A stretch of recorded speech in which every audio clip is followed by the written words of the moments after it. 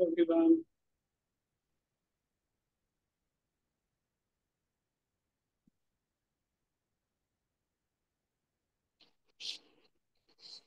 Hello, everyone.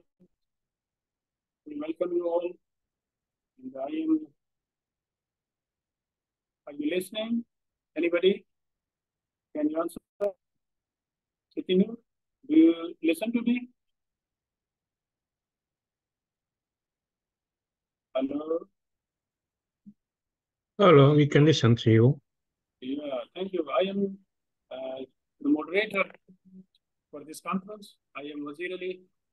I am from Pakistan.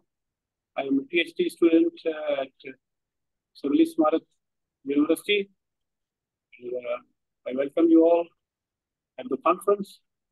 Hope uh, you didn't have to wait long for the conference because there were technical issues uh, to get connected. Thank you everyone for uh, your patience and uh, participation. We are just waiting for uh, Dr. Rohana to start the proceedings.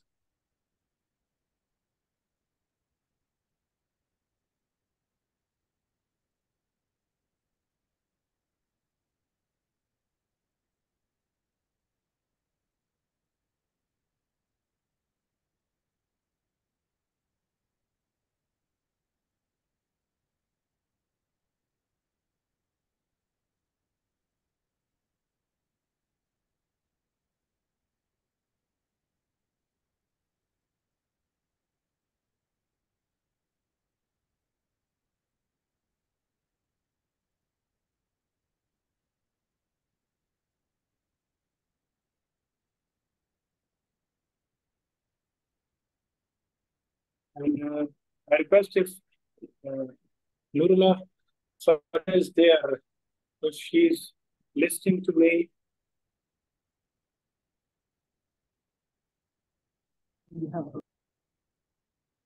If if uh, Nurullah Faria is there, if she's listening to me, so please uh, answer to me.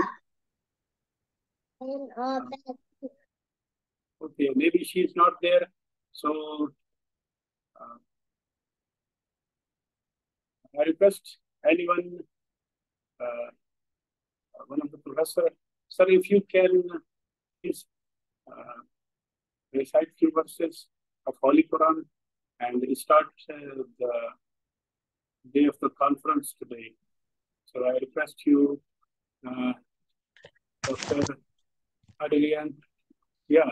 Yeah. Nurila, Yeah, Can- uh, can, can we start uh, the proceeding with the uh, recitation of a few verses of Holy Quran with dua to start the day? I'm sorry. Uh, I'm sorry. Uh, pardon me. I don't really uh heard you well. Uh, I'm saying that uh, can we start our conference? Oh yeah, the yeah. recitation of recitation of Holy Quran. If you can request anyone uh, from the participants to to start the day. Yeah, I think um l- let me start first, right? Okay. Okay, uh, uh, ladies and gentlemen, as we were about to begin our conference, please be seated very well. Um, I think that I have a note to make before we begin today's conference. Um, we would like to uh, seek your cooperation, uh, completing for attendance list. Uh, I will send you uh, attendance link, attendance list link that we sent on uh, chat box on the below. Copy link. Wait a minute.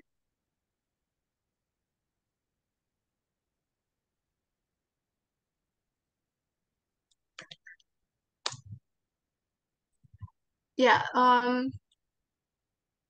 so uh, I have sent the link for attendance list. Uh, please, all the participants, uh, fill the attendance list so that we can make sure um, your name to be uh, sent for the certificate.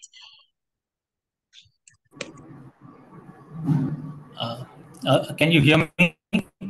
Yes, Yes, yes, yes. doctor. Yes, yes, we can. Yes, hear we can hear you. Question number seven.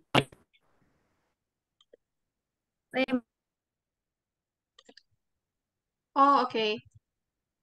All right. Um, yeah, please, everyone, please. Uh, it's already closed. Oh, oh, wait a minute. Let me chat uh, the committee first.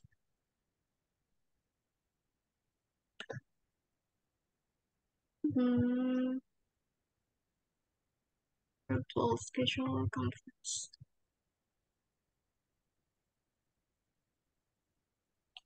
I think that I will send it um later. Now, uh, please, we open We can, first. we can start the program, Nurla. Yeah, And yeah. then we can do such. So first Yeah, we have alright. to, yeah, first we have to start with the recitation. All right. Now, um, thank you for everyone. Assalamualaikum warahmatullahi wabarakatuh. Good everyone, um, good afternoon, everyone. Um, Her Excellency Professor Dr. Rohana SPD MPD, the head of Yayasan Pendidikan Transformasi Teknologi, the Honorable Dr. Krishnan Umachandran, respectable um, Yasir Ali PhD and Dr. Sunil Kumar Misra, Associate Professor, respectable all participants of this conference. Um, first of all, let's thank to the Almighty Allah Subhanahu wa Taala who has given us um, some mercies and blessings so that we can attend this agenda without any troubles and obstacles. Secondly, salawat and salam may always be given to our Prophet Muhammad Sallallahu Alaihi Wasallam, who has guided us from the darkness to the lightness. Um, I would like to introduce myself. Uh, I am Nurila Fitra Shamsuddin, who will be your master ceremony for this international conference. Welcome to the second international conference on education, language, linguistic, social science, humanism, culture science. And the theme is Global Connections, the Linguistic and Cultural Divide for Better the World. We would like to thank everyone here for making time to attend this remarkable conference. Ladies and gentlemen, on this occasion, allow me to introduce you uh, today's agenda. First, we have the opening. Second, welcoming speech. Third, presentation by speakers. Fourth, discussion session. Fifth, panel session by presenters. And the fifth, uh, and the last, closing. Distinguished guests, ladies and gentlemen, let's open this seminar ceremony by reciting Basmalah. Bismillahirrahmanirrahim. Before we come to the main session, let us start this by praying first, so the event that we will hold on this day will run well without any obstacles. Pray based on individual beliefs. Begins.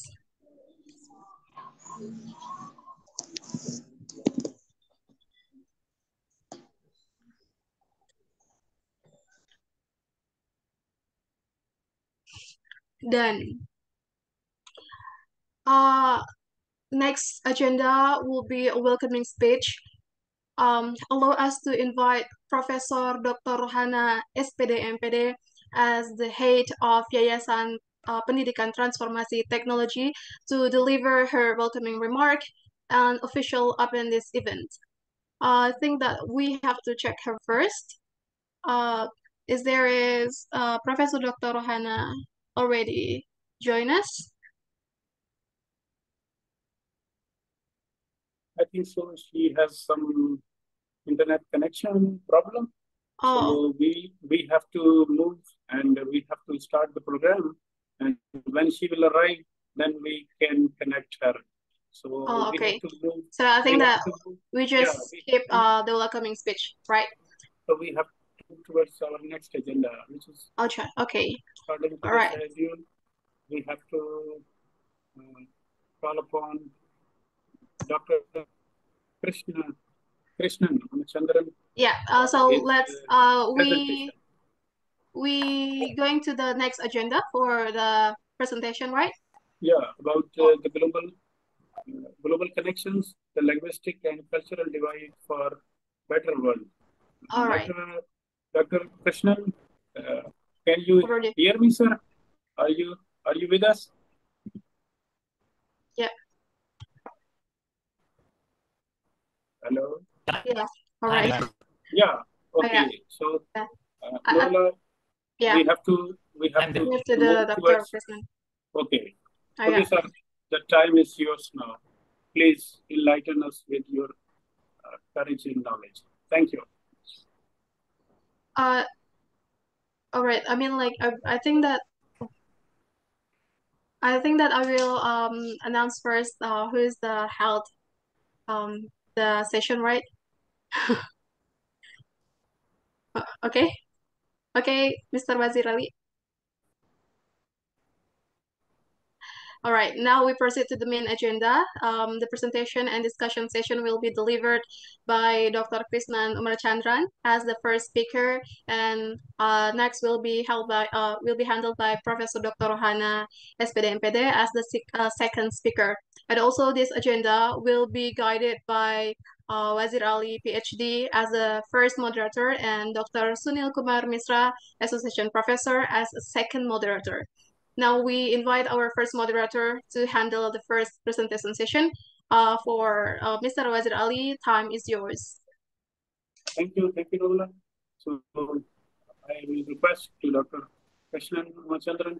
So please, you can enlighten us with your presentation and your knowledge. Thank you. Thank you.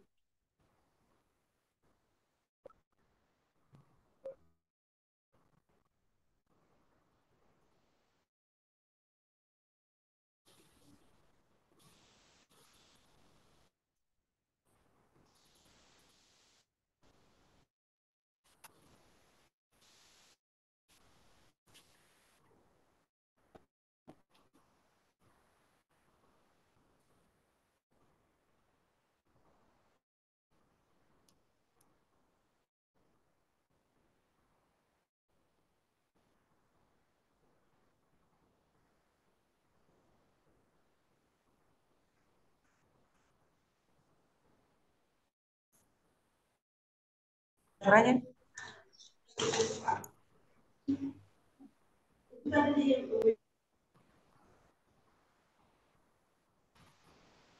Hello, Dr. Krishnan. Are you with us, sir? Uh, yes. Uh, yeah, but we can see you, but we can't hear you. We, we, we can't hear you, sir. One second. Maybe you have some internet connection. So please, Hold on.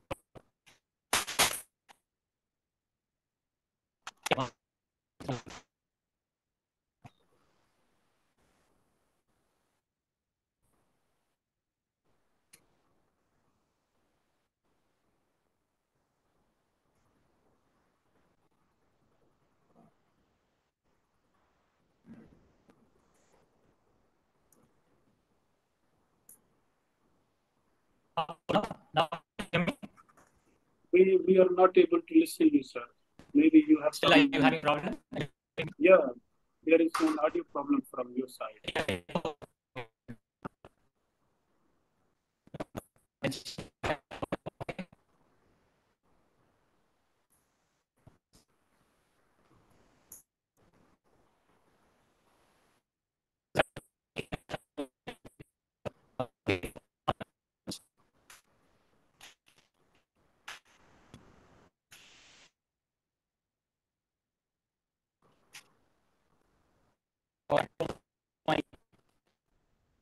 Sir, we are not uh, able to listen you.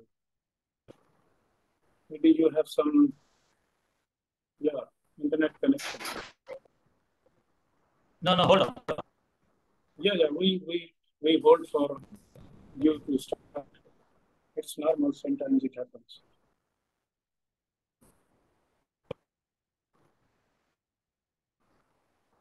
Now can you hear me? Yes, now we can, yes, Right, right. right. yes. So I'll, I'll talk through my phone and I'll uh, keep my screen. It is, it is fine, sir.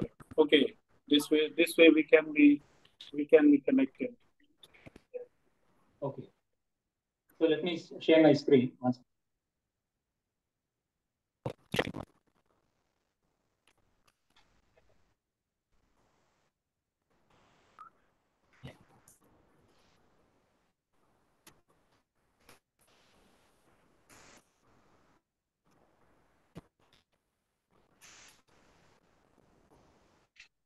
Okay.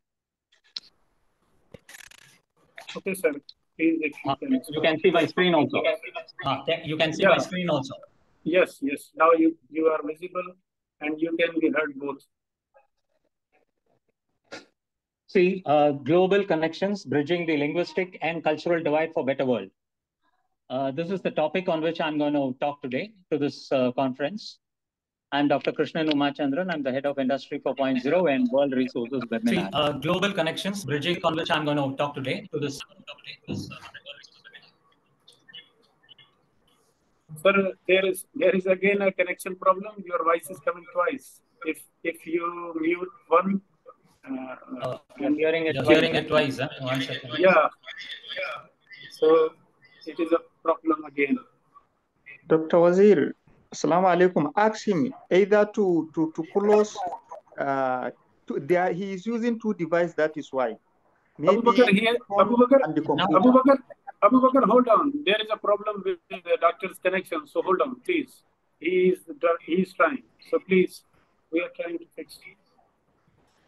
Now, now, how is it? It is fine, sir. You can, you can Okay. start. Can I Thank start?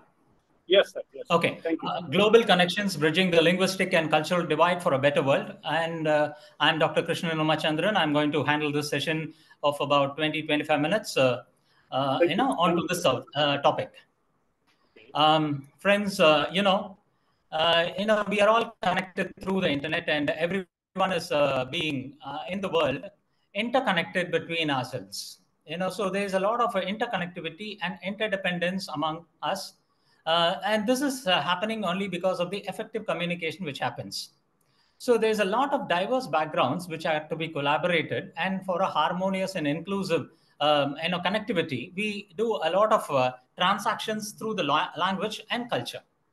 Okay, so th- these are the important, uh, you know, milestones on which uh, our connectivity is bridged upon, so that people are connected throughout the world for a harmonious relationship. See, when it comes to interconnection, interconnection is not a superior or a uh, you loosed uh, network. It is something which is a strong win-win network among people across the world.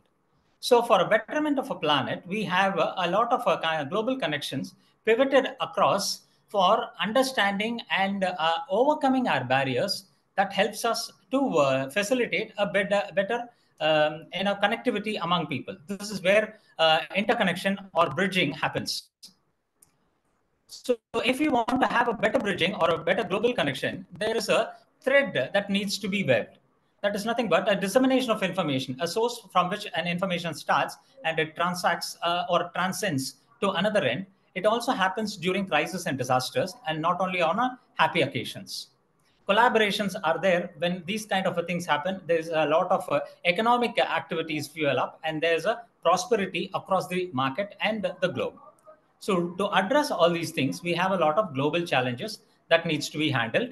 And uh, this is not only when things are happy, even in case of disasters. So that's one of the important points we need to think about it.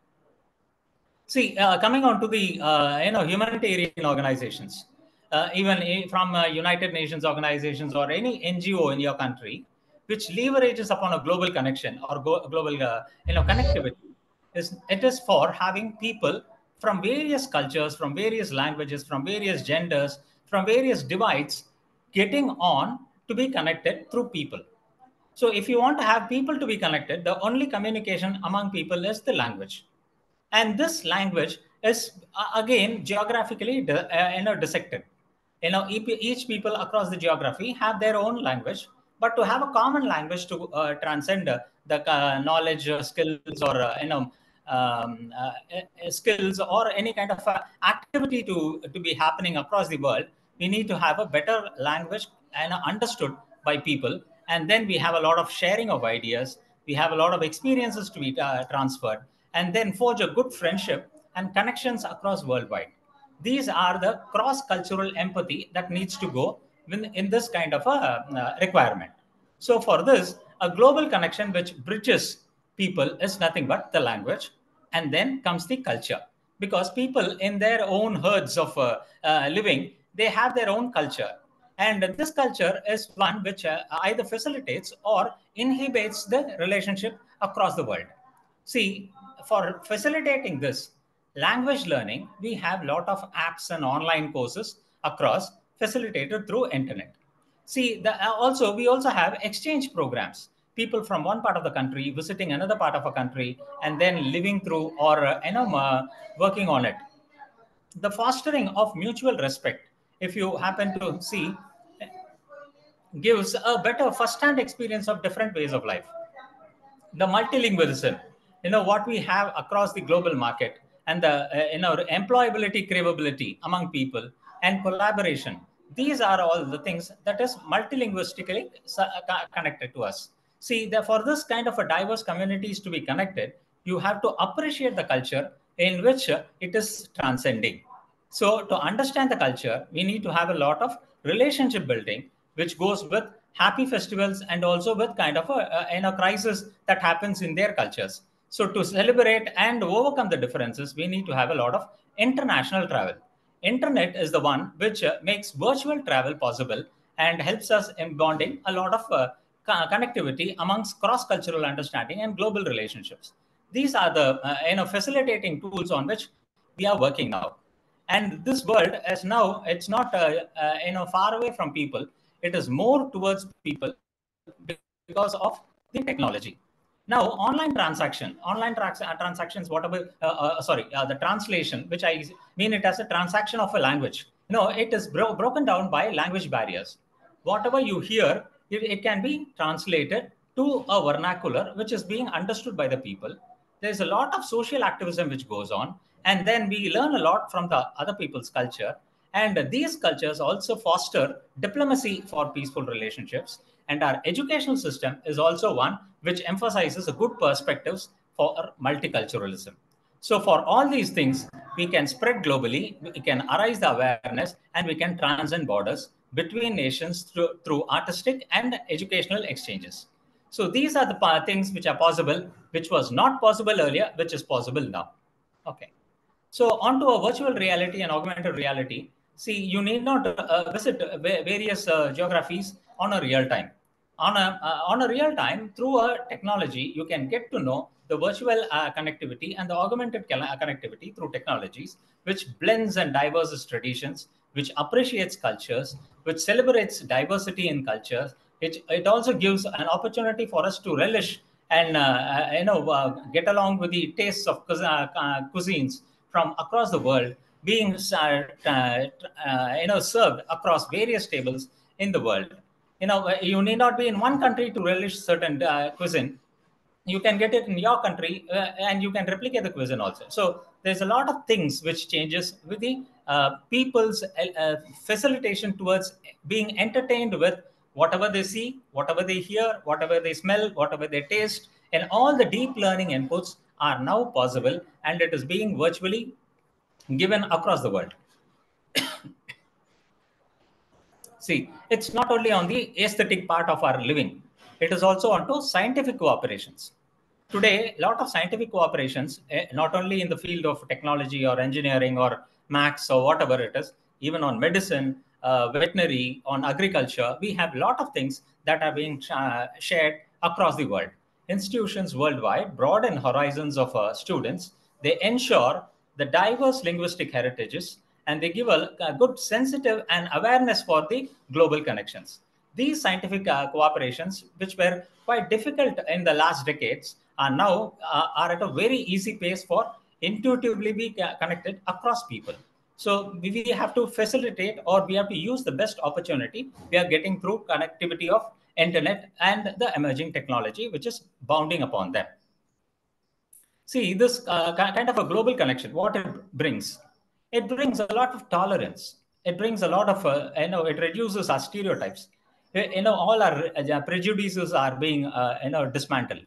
We have a lot of cross cultural friendships we have a lot of uh, storytelling across the cultures uh, and across the uh, geographies, which can bridge our cultures. Which uh, translate translation and interpretation services are available across you know the global understanding. There's a lot of diaspora communities which still maintain connections to the cultural roots, and these are the things that not only the host or the guest countries does, but across the world it can be transpiring for a better harmonious relationship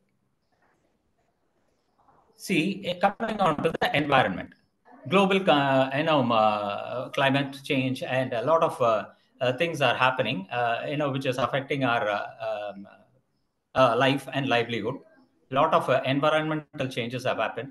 And to conserve the environment there's a lot of things that has to be taken across the world not only in each country but across all countries. To connect and bring in a lot of global citizenship Initiatives such as connecting businesses and communities are required. To promote this, technologies promote a lot of diversity and uh, they also include, see, United Nations serves as a global forum. But to facilitate all these things, people should be uh, you know, willing uh, to contribute and following up with the footsteps being shared as the global plans or uh, sustainable plans. Coming on to the art, you know, we have seen cuisines, we have seen scientific uh, requirement, uh, we are seeing the art. Now coming on to the heritage pro, uh, programs. Now UNESCO has a lot of heritage programs which gives a lot of cultural landmarks worldwide and being promoted or preserved.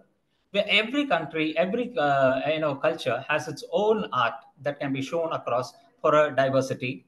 It can exchange programs across and facilitate along with the language, and then it can help uh, in celebrating multicultural holidays and traditions Sometimes even multicultural marriages are also promoted by these kind of activities. So everything is nothing but we, we get into a kind of a same family and same relationship across the global uh, position. Now on the global network, if you see, virtual global conferences are now as like what we are having today on the uh, second conference. Uh, this is a global uh, virtual conference. This is happening only because of technology.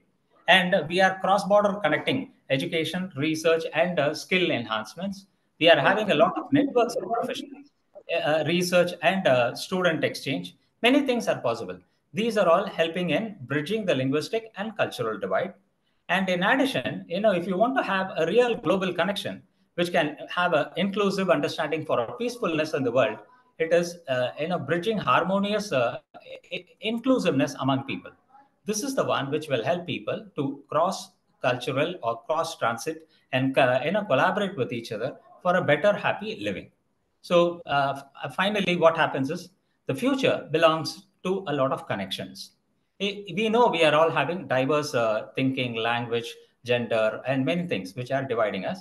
But if we want to have a unity to prevail within us, the future will embrace global connection and it has to be celebrated. With these few words, I wish to uh, close my talk. Thank you for listening to me. Bye. Thank you. Thank you, Dr. For such a wonderful presentation. And you have uh, provided us so much information. So, uh, before going to open the session for questions, uh, I like to ask a question relevant to your topic. Sir, are you with us? Because your video is not visible to us. Dr. Krishnan?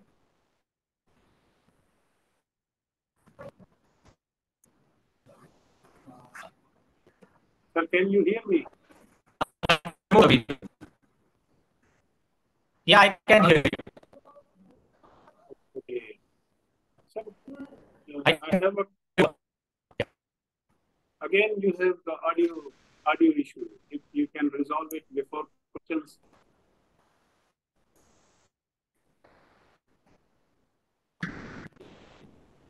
Okay.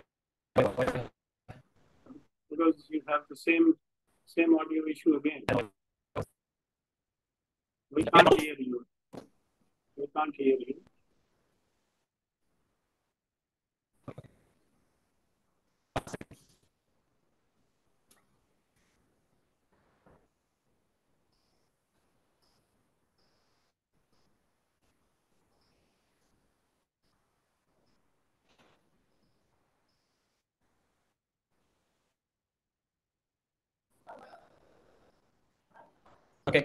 Can you hear me now? Uh, can you hear me? Yeah, now we can. Yeah, go ahead. Question me. Okay, so there is a question from Arsalan Dost. Arsalan, you may ask your question. Your question. Uh, thank you very much for great insight, sir. Uh, I have a question that how AI tools like the modern artificial tools help uh, in global connection.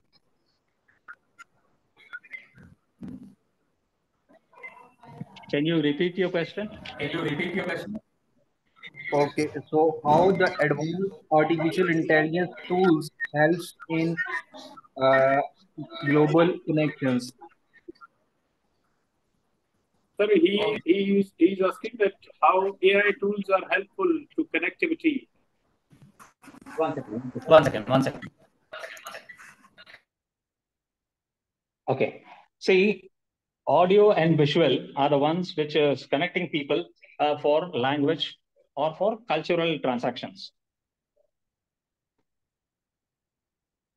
Okay, see, this is happening only because people perceive things, see, you know, and uh, you know, communicate with each other through the audio and visual part. Okay, to this, what happens is the technology, which is the emerging, Emerging technology. You know, it has a lot of deep learning inputs. See, what we see, what we hear, what we smell, what we taste, what we touch, everything has to be transferred from people to people so that they can understand and uh, you know uh, religiously transfer their knowledge or skills what they obtain from these kind of inputs to other people and cherish the divide see because if you want to have people to have uh, inclusiveness you have to accept the difference if you don't accept their difference what happens is you force on them what you think is right. But in culture, every culture has its own kind of practices that is right to them. So you cannot force on them what has what is right to you. So audiovisual is the one which makes them have their time and then relish upon their understanding of the input they, they got, got from the other cultures and other languages. Okay. Yeah, if there is any other question, if anyone wants to ask a mm-hmm. question. Yeah, thank you, sir. So it's all depends on the prompt we are giving to the artificial intelligence, right? Yes, correct. Not Thank only prompt. Uh, no, no, it's not only prompt when it comes to artificial intelligence, there are two things, which is called the ML, machine learning, which is Yeah, yeah. connected to the uh, sensory inputs called deep learning, and the deep learning enhances your machine learning. Okay, thank you, sir. Work on your algorithm. If any other one, if any other participant has any question, so we are waiting for your question. Dr. Krishnan, I have a question that how effective communication can be bridged between diverse communities who are still suffering from natural disasters like flood, such Uh, no, what you say is right. See, technology can facilitate yes. only when it is being available. Yes, I am. I am coming to my main. After So, this, you know, in case of disasters and in case of uh, crisis affected areas, uh, first of all, their li livelihood itself is affected. yes, Uh, so So- there you cannot talk uh, peace, you cannot talk uh, happiness. no, no, no, no, no. You are not getting my point. I have Ah. the question that there are so many problems around the world. We we just see the problems. If we talk about if at the moment there is uh, a war between two countries, so we just uh, watch through videos or internet. It connects to us, but uh, when we are connected, people forget after one or two days to help them. So why this is happening. This is not just because every day we watch something new and we forget what happened yesterday. Is this also a, real problem which internet has also created in the world? No, you are right. You are right. Uh, thing is, see, uh, people have uh, short-term memory. Yes. And uh, see, we cannot have long-term memory for uh, on our problems because if our problems are being, uh, you know, left around, uh, uh, you know, even if it is not satisfied, it is better to uh, keep moving rather than to stay upon or being there in the same problem and hit onto it. No, I, I just like to discuss this thing.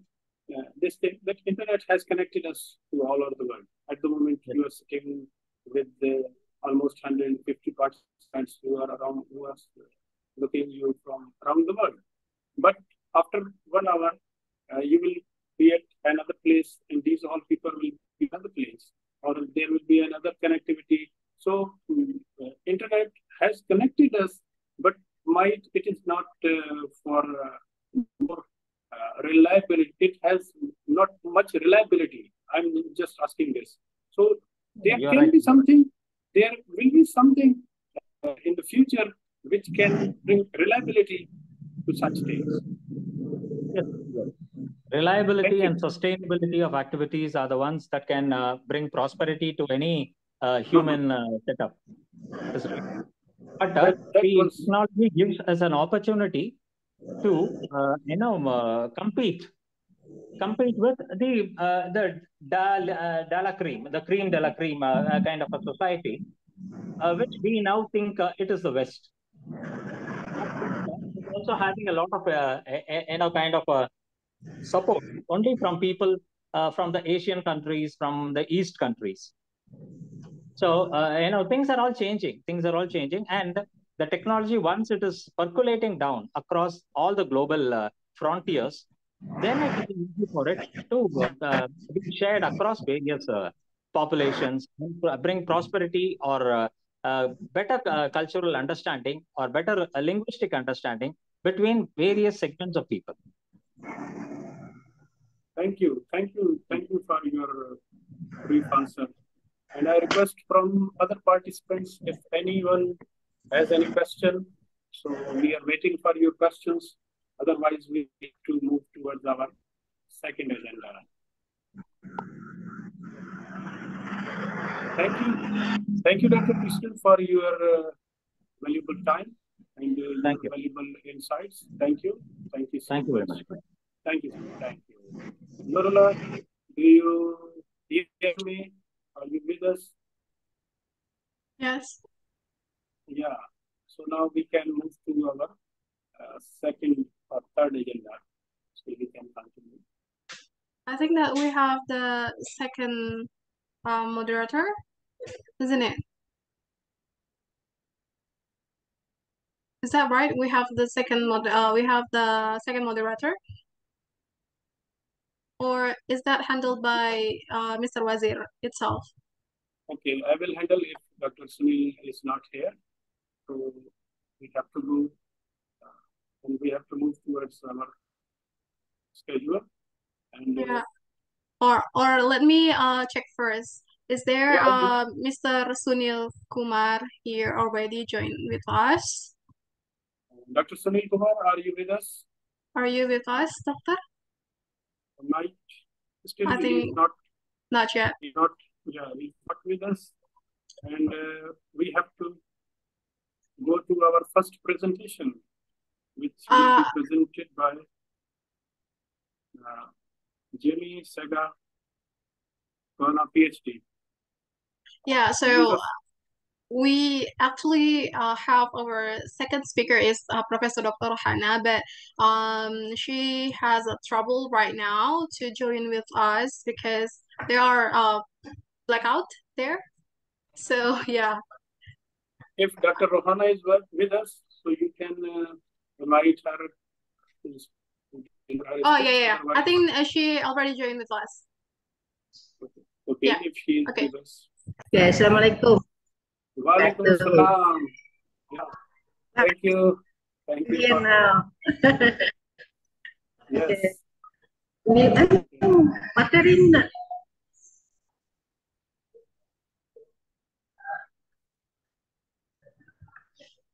Oh, di-share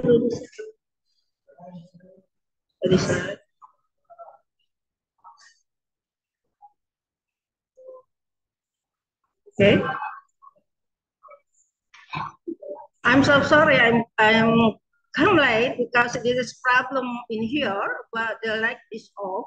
Now I'm uh, move the place uh, now in the light is on. Okay, uh, I'm so sorry. We, okay, now we I would welcome, like to we present. welcome, we welcome you again and uh, Okay, our, uh, uh, may I start now? yes, yes. Okay. The role of the technology for the effectiveness uh, communication and the education. Uh, this is my detail of the, my uh, presentation.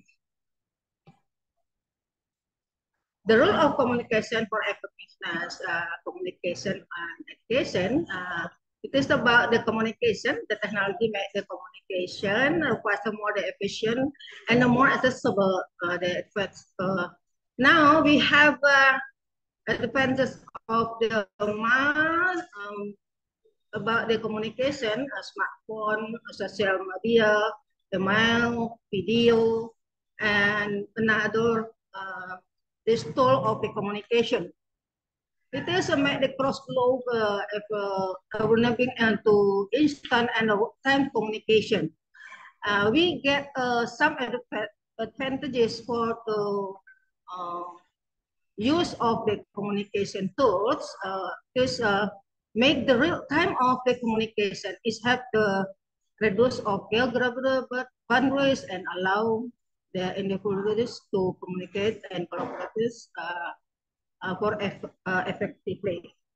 Okay, technology has uh, democratized access to information, is the internet.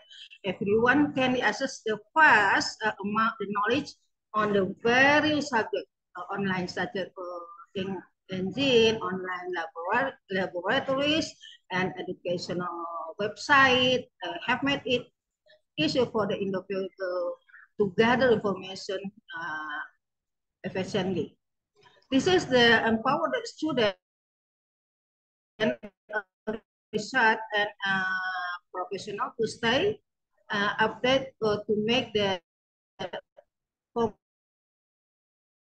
the decision for uh, the traditional education system, but the education online learning platform and uh, more of the communication tools. Um, for example, a learning provide uh, flexibility, uh, banyak allow uh, people to learn online. Uh, the communication make uh, more and more advantages uh, for the communication and education uh, for us. Uh, technology uh, plays uh, the significant on the transformation in education, exchange, communication, and effectiveness. Uh, access of information. Technology accessibility easy to quick access to vast amount uh, of the educational resource and information beyond uh, traditional uh, textbooks. Uh, technology foster the interactive and engaging learning experience, multimedia presentation, videos, stimulation, and educational games capture to the student uh, attention, making the learning the more enjoyable, uh, the effective learning. It is a main uh, issue for the uh, teacher to give uh, some material to the student, um, make the uh, process of teaching and learning uh, effectively. Uh, personalized learning technology allow the personal learning uh, to experience forward to the individual student needed at the learning styles. Educational software on online platform can adapt student progress, providing progress to content of the exercise. Uh, for example, Uh, the student uh, can um, study uh, by individually at home. They can uh, searching in an internet about the some material and then uh, find it in some soul and then they are kind of uh, learning by individual. It is uh, they can uh, get some profit for it to increase their knowledge at home uh, in another place in everywhere. Uh, it is uh, the student uh,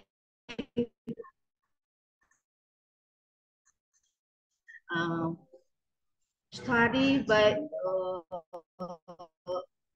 internet by some and then it is very important to the student to increase uh, themselves. Okay improve the collaboration. Technology enable the student to collaborate and communicate with their peers and teacher various uh, various ways. Um, for example now we can collaborate uh, uh, by online uh, conference. It is uh, the uh, profit or advantages for the we uh, use of the uh, technology tools. Okay. Some of positive uh, impact to uh, technology in education includes uh, about the better accessible of the learning materials technology allow the student and teacher to access the learning material from different place uh, and at any time. Uh, now we meet in uh, online and then we can uh, we can hear about the how to uh, another to plan about the, the material for another. For example, this is the advantages for the how to make the uh, technology tools uh, give uh, some advantages for the other for us. Like for example, okay, and then and then number two, more the interactive and the fun learning technology enable more interactive, fun, interesting learning by using video, animation, games, uh, etc. And then more of the uh, some technology uh, tools uh, we can use in uh, learning process. And then, uh, then learning about the improve the communication with, between the teacher and the student uh, and the parents. Technology makes the communication between uh, of the teacher, student, and the parent easier via the mail, via the text message, uh, via the uh, WhatsApp, um, uh, via the some of the uh, technology tool uh, for special application, for example. And then number four, increase the efficiency. The technology can also uh, speed of the teaching and the learning process, uh, uh, efficiency and running uh, educational program. And the more the more we can uh, get information by the technology tools, and then if we when if we want to uh, send the message, we can use the technology uh, uh, like uh, WhatsApp, uh, like the email, and uh, some and another uh, tools. The sum of negative impact of technology uh, on the communication includes uh, uh, the reduction of the ability to interact directly and the low the quality of interaction and uh, ineffective uh, communication. How to reduce the ability to interact uh, directly dependent on the technology. Reach the resisting uh, a person ability to interact uh, directly with the other people. And then uh, how to quality of interaction. Online interaction are the less uh, immersive than the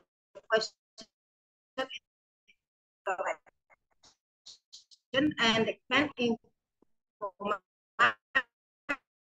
the quality of social uh, uh, more misunderstanding by the recipient and which can harm communication uh, in the long uh, run. And then uh, dependence of the technology can by the uh, or the life uh, balance of the uh, blurring the boundaries between the work and the personal life.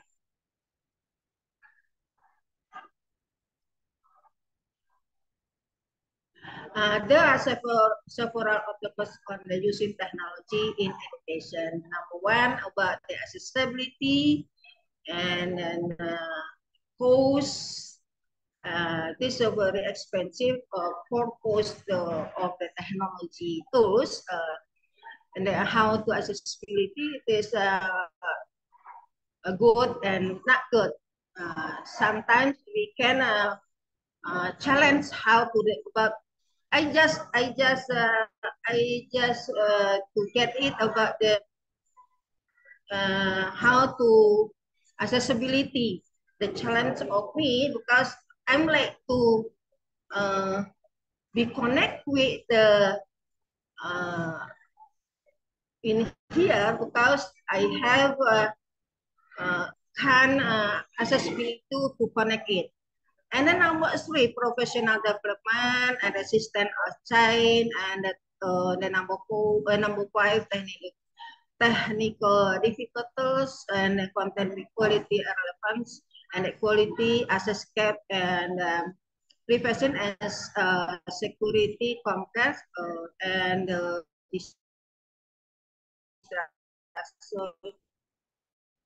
of the means. This is uh, the education. Now we have uh, some obstacle, but now we have solution how to using the technology, the learning process including about the one uh, to provide educated technological support. It is very important. The, uh, the other to minimize the possibility the techni uh, technological problem upon the online learning platform. Okay, and then the solution number two uh, we provide the guys and tutorial of uh, using the technology uh, that are clear and uh, easy to understand to the user. And the number three is to educate the internet infrastructure and speed. Uh, if, if it uh, difficult to access, can be evaluated to add uh, to red install. Number four, Facing the technology is tool only. That news technology suitable for interaction uh, between the student, meaning the relation between participant and the teacher. And the number five, hold the training on the use of the internet uh, technology, uh, radio calling for the teacher, who teach all the student. And the number six, optimize the teacher and the student interaction uh, through the technology, such as um, virtual discussion, online assessment, on uh, like now webinar on uh, international conference and so on and so on. More and more solution how to because of the uh, using the technology in the learning uh, process. Okay. Now we move. Uh, how about the using technology in teaching and learning process? Over the several uh, advantages that can increase the effectiveness of the communication.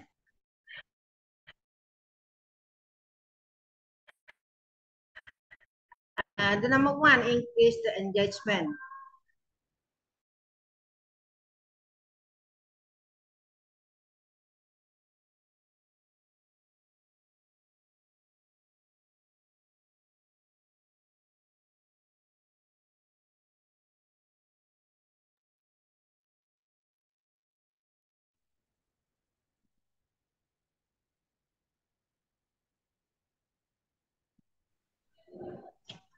And then the number two about the technology provided student, uh, which is access the word of information uh, and so uh, they might be not be available in traditional classroom setting. And uh, technology enable the student uh, collaborating with the communication with the peers uh, and the teacher various ways, fostering effective communication and, and uh, uh, teamwork skill.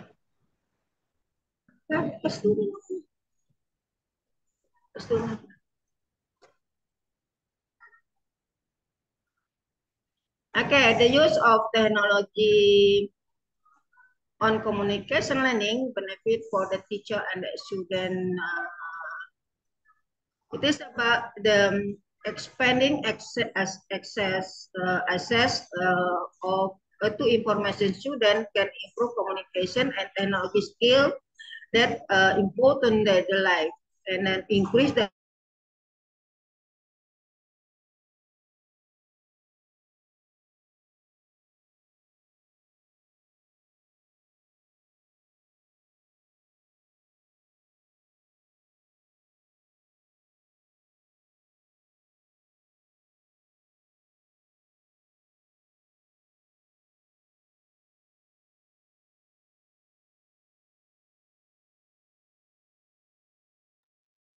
Uh, I think Dr. Rohani has some technical issues. Okay, the problem of the channel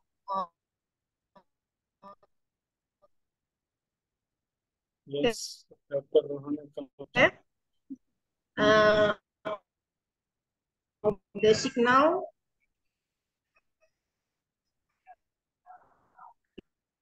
improve the digital skill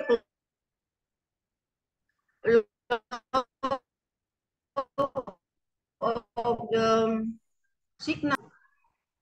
Okay, uh,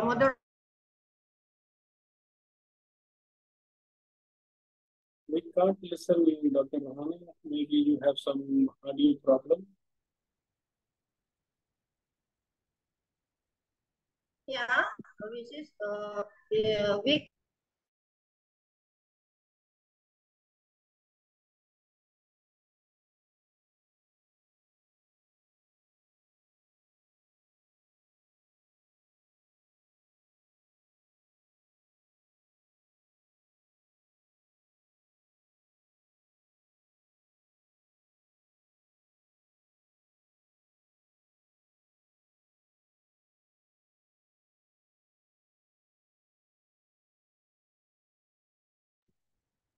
We cannot hear you, Dr.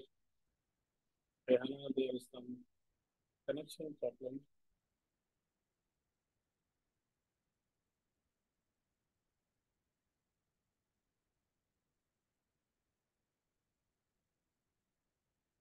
Hello.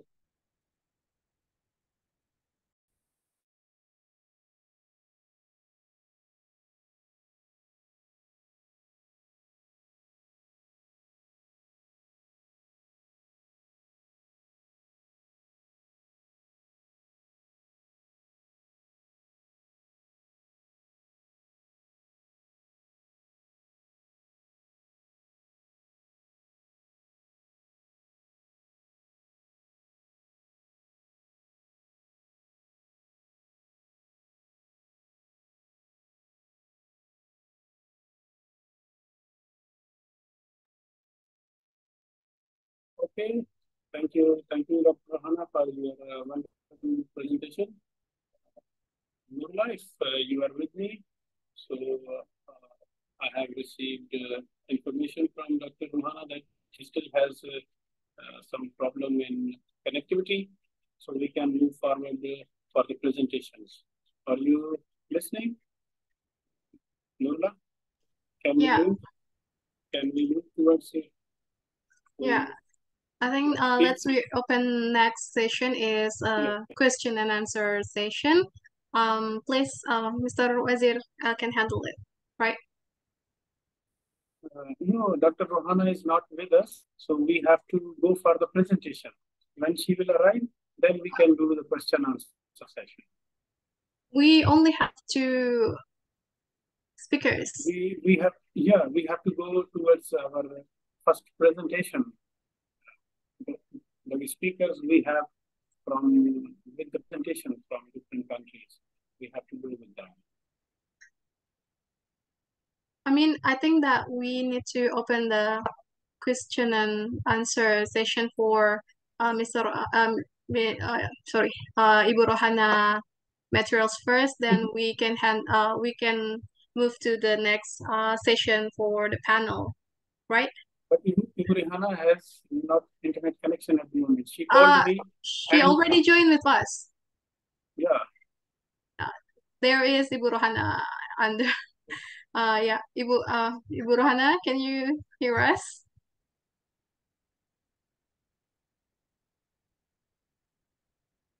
Uh, with uh, the signal. Yeah, so can we uh, have a question and answer session for your materials, Ibu? Okay, okay, okay. Okay. Uh, Yeah. Now open uh, uh, the session about the the next session. The next session. Uh, uh, I will give the time for Mr. Wazir to handle that. Time is yours, Mr. Wazir. Thank you. Thank you so much. So I will call upon uh, Jamie Segia Bona, PhD, for presenting uh, use of newspaper as instructional materials in the teaching as learning process. The case of secondary school in Delta State. If uh, you are with us, Jamie Segia Bona, are you with us? Um, uh, open finish session. Uh, now please open the finish session. This is not problem. Uh, but now in here, um, this the problem with the uh, signal. Uh, and then I don't hear something, uh, but I can uh, speak now, but I don't hear uh, more. Okay. We we are uh, going to present the first uh, presentation from uh, Jamie Segia Sega. Yeah, maybe for PhD. He has to he or she has to present her paper use of newspaper as instructional materials in the teaching and learning process. A case of secondary schools in Delta State. Are you with us, Jamie Segia? Are you listening?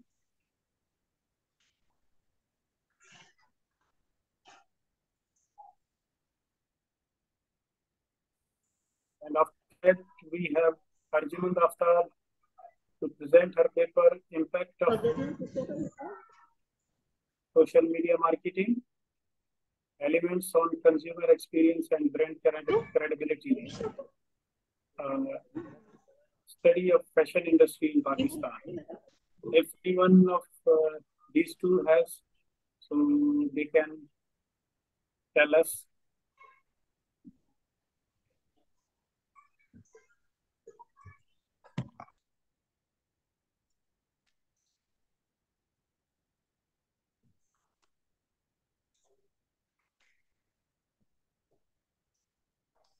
Then we have Ahmad Khamis Sayyed, quality from Assiut University, Strategy in Primary Education. Are you with us, Ahmad?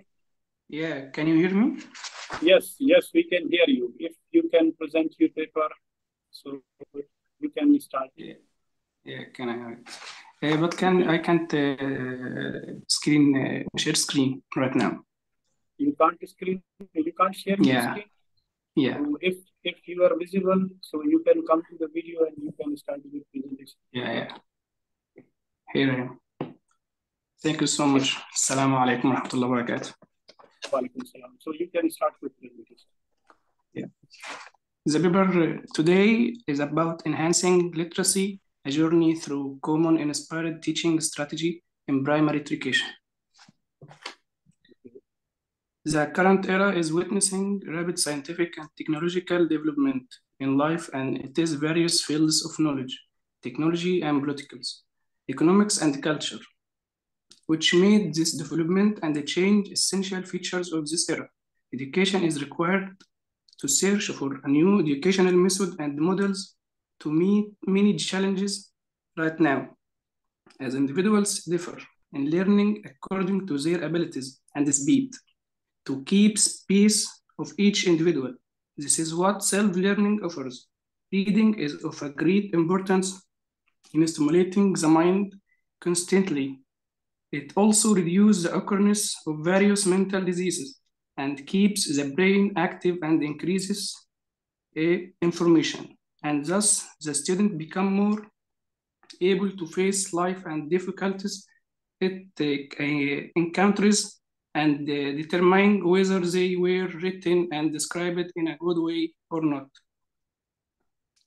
Reading helps in self-decision and take better actions regarding his life and features. Discover new things he did not know about motivation.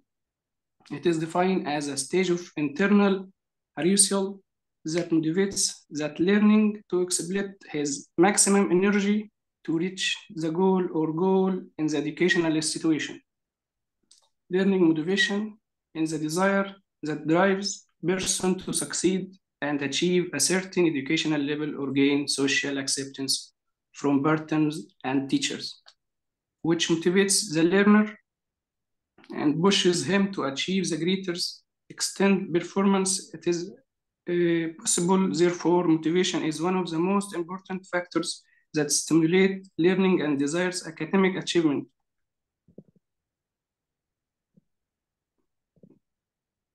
Can you hear me? Yes, yes, yes, we can hear you. On the other hand, modern educational literature emphasizes the need to use reading skills strategy that take into account students' needs and interested and especially in the primary stage, which is considered as an important stage in terms of establishing student and teaching those important skills such as reading and enhancing their learning motivation. Uh, then we go background and rational. Rational, the rationale behind this research is multifold, stemming from the possible need to addressing contemporary challenges in primary education. Enhancing reading proficiency, the ability to read proficiency is not essential for academic success, but also for active participation in the modern life. Information-driven world. By integrating Kumon principle into the curriculum, this research seeks to understand how enhancing reading instruction can positively impact the students' abilities to comprehend, analysis, and interpreted various forms of text. Global education innovation. As the world becomes more inter interconnected, the exchange, exchange of innovative educational practices becomes interactive. By study, studying the impact of Kumon principles outside of Japan, this research contributes to the global conversation of uh, effective teaching strategies. Understanding how these principles can be adapted to diverse culture contexts provides valuable insights for education and policymakers worldwide.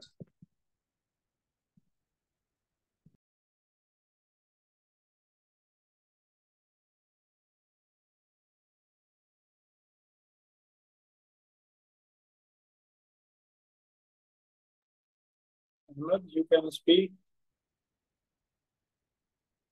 Hello. Ahmed, are you with us? Maybe Ahmed has lost the connection. So we have to wait again for him. Yeah, due to bad connection, Ahmed again has lost his connection. So we have to wait for him again as we get connected. Uh, let's we- wait until five minutes, right? So he can prepare we- to come We back. have to, we have to wait for him, maybe he get connected again. Yeah. have to wait. Yeah, we have to wait. Sorry, this happens. It is natural. Sorry.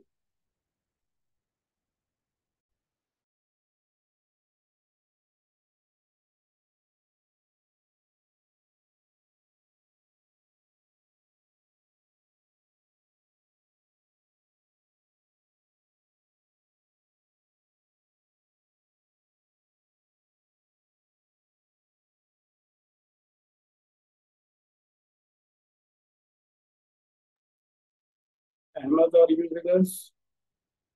Mr. Ahmed? Can you hear me? I'm sorry for bad connection. Yeah, you yeah, we understand. You can continue. You can continue. Yeah. Yeah.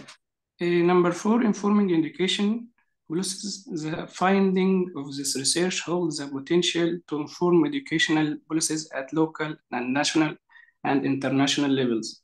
Evidence-based insights into the effectiveness of Kumon and inspired teaching strategies can guide the development of curricula and instructional methods, ensuring that educational policies are grounded in research-driven practices. Uh, then we go statement of the problem. Uh, the problem at hand can be dissected into spe specific components. One, reading proficiency gap. A significant number of primary school students faces difficulties in mastering essential reading skills. Hand hearing their ability to comprehend complex text, extract meaningful information, and uh, critically analyzes diverse content. This proficiency gap not only affects their academic performance, but also impacted their overall intellectual growth. Limited application of innovation teaching strategies. While innovative teaching methods such as those inspired by the Japanese program Kumon have shown promise in addressing reading challenges and motivation issues, there is a dearth of comprehensive research exploring their uh, applica uh, applicability outside their uh, cultural context, the lack of in-depth studies examining the effectiveness of Kumon inspired strategies in diverse primary school setting hampers the development of evidence-based practices.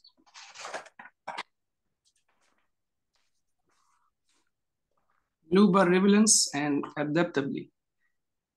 In an increasingly globalized world, it is crucial to determine to the adaptability and relevance of innovative teaching strategies like Kumon across diverse cultural and socioeconomic backgrounds. Understanding how these methods can be tolerated to meet the unique needs to different student population is essential for creating inclusive educational practices. The object of the study to assess the impact of Kumon inspired teaching strategies. Uh, the primary objects of this, this study is uh, evaluated the effectiveness of teaching strategies inspired by the Japanese program Kumon in enhancing reading proficiency uh, among primary school students by conducting pre and post intervention assessments that study aims to qualify quantity, the improvement, improvement in student reading skills resulting from the implementation of Kumon-based method. Do identify uh, adaptation for diverse culture context. One of the key objectives is to identify how Kumon and inspired teaching strategies can be adapted to diverse culture context and varying educational setting. By focusing on uh, characteristic by limited resources and disparities in educational access. This research intends to analyze how these methods can, as a, can play a, a big role as a tool for promoting educational quality.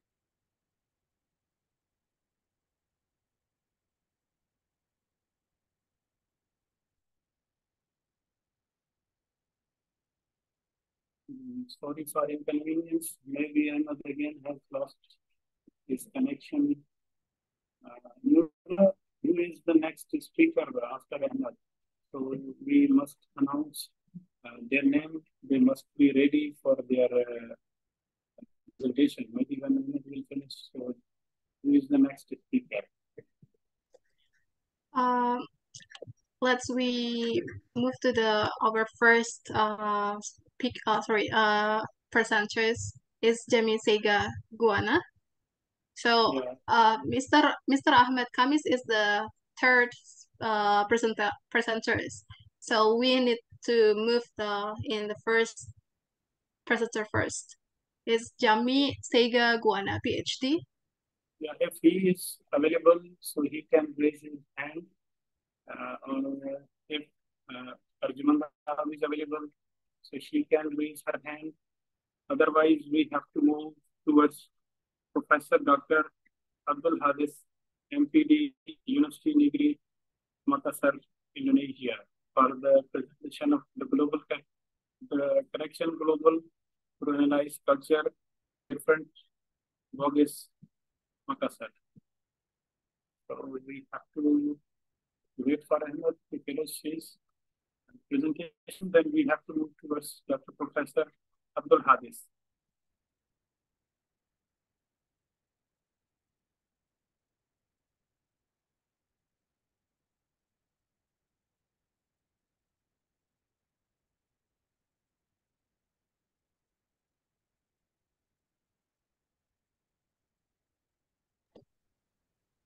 Mr. Jami, are you with us?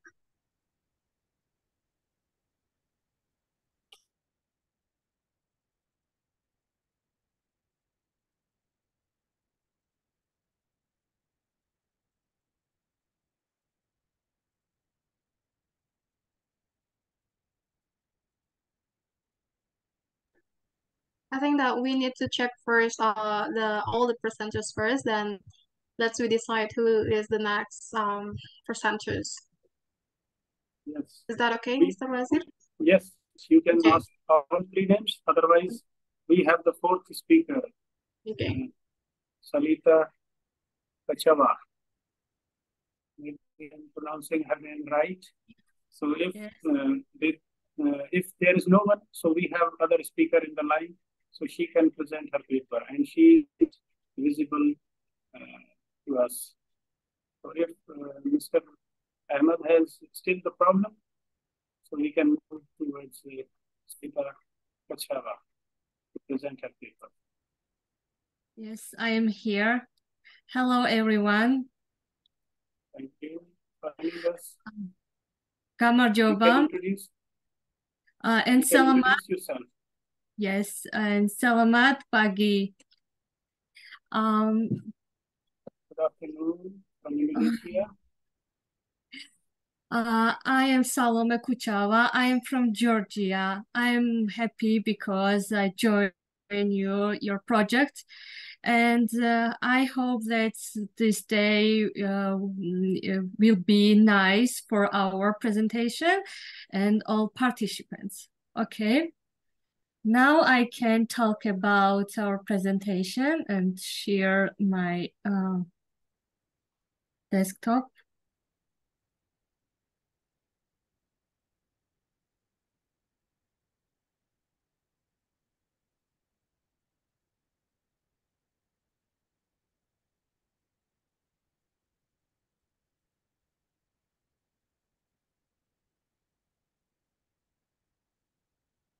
Uh, can you see my share desktop? Uh, Yes, yes. Yep. Visible. Okay, you can continue. Okay, Yeah, we can see. So we can see. okay. Uh, my presentation theme today is the impact of technological advancements on people's lives. Uh, I'm uh, Georgian and uh, State University.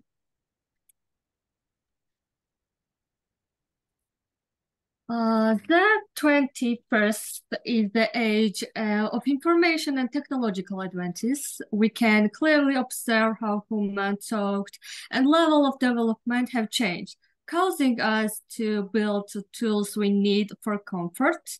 Our pres uh, predecessors did not have advanced technological capabilities many decades ago.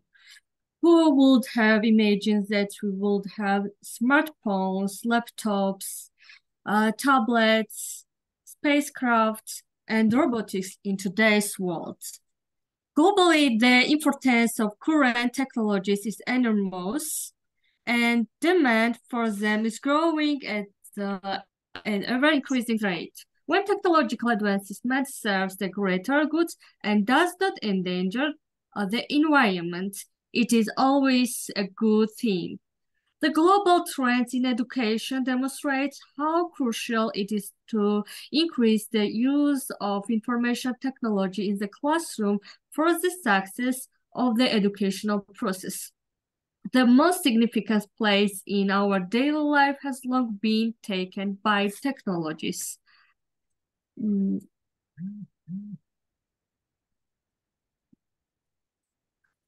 Uh, many people think that technological advancements have great, uh, greatly aided human progress, but others are persuaded that there are many more negative effects than uh, positive ones.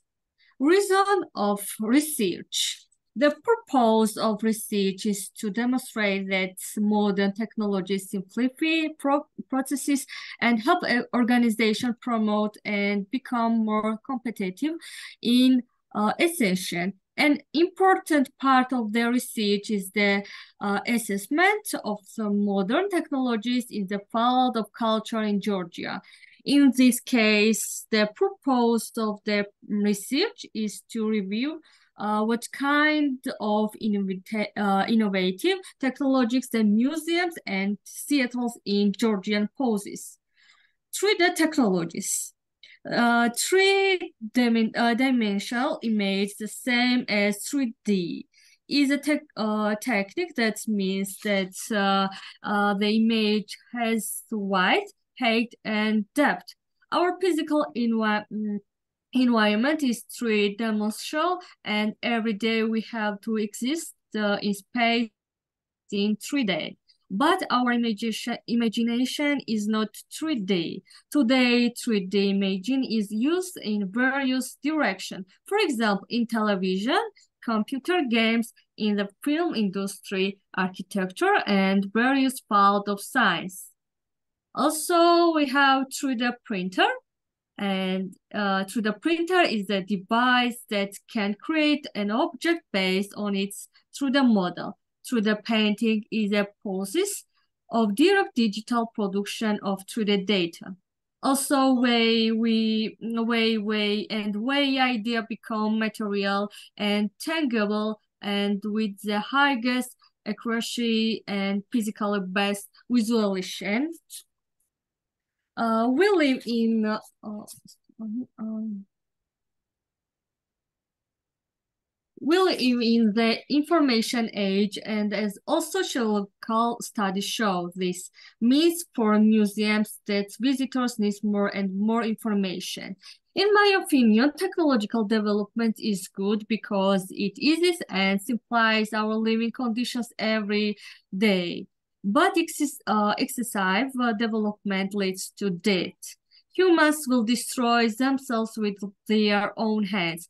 In recent times, the questions of the production of robots and their placement in the labor market is relevant. This uh, it seems cool when a robot serves you, you uh, and bring you what you want. You don't have the uh, to get tried. Let's look at the result of the mass use of robots in the business market for another angle. Uh, the level of work will decrease, unemployment will increase, and people will begin to starve and fall into stress because they will think that an iron robot is doing their job. Uh, it's uh, probably funny to understand this, uh, but I think we are getting closer to the time when technology will replace humans. Uh, furthermore, it is evident uh, excessive computer use process health risk.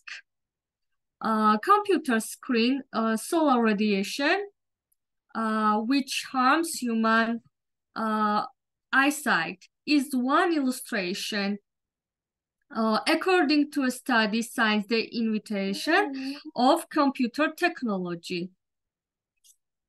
Uh, the number of people who use glasses has uh, substantially increased. Uh, Tamer Kalandadze is a doctor in Georgia of philosophy uh, of the Faculty of Educational of the University of also guest lecturer of the University Uh, a researcher at the Norwegian State Research Center examines the effect of technology use on children. Does the children interaction with a computer uh,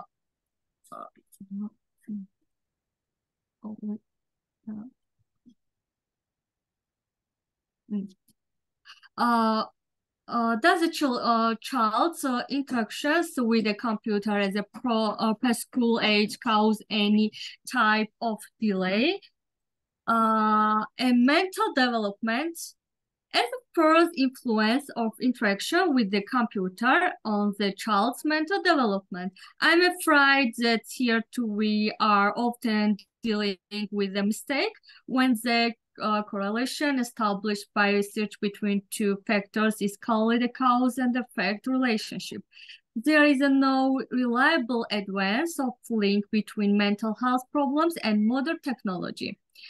Uh, on the other hand, there are less reliable studies that, for example, uh, point to frequent television viewing at uh, an early age as a cause of problems with the development of attention. However, these studies do not consider potential contribution uh, contributing uh, factors. For example, we don't know why the child prefers to spend a lot of time in front of the TV because the TV attracts him uh, and he does not want to leave the house or he does not want to go out all, at all. Uh, let's say he is dis- depressed, uh, depressed, uh, feel bad with his peers, is a victim of bullying and etc. Uh, uh, the dynamics of technological change are quite fast and mobile by modern global standards. Organizations from any region of the world are trying to be uh, adaptable and changeable as possible. They were oriented both uh, by changing the organizational culture and by introducing resource optimization programs.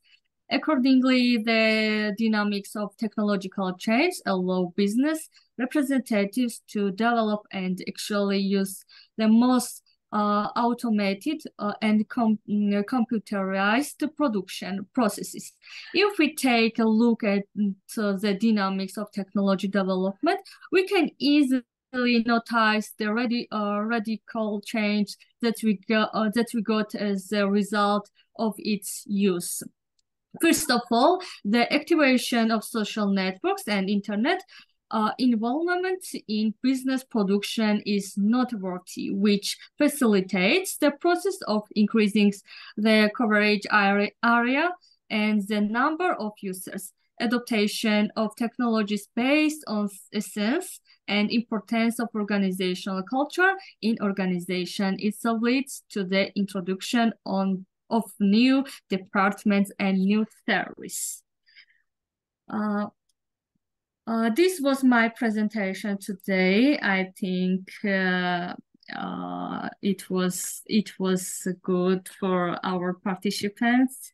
And uh, thank, thank you. you. Thank you. Thank you for your participation. You have presented a very wonderful uh, presentation.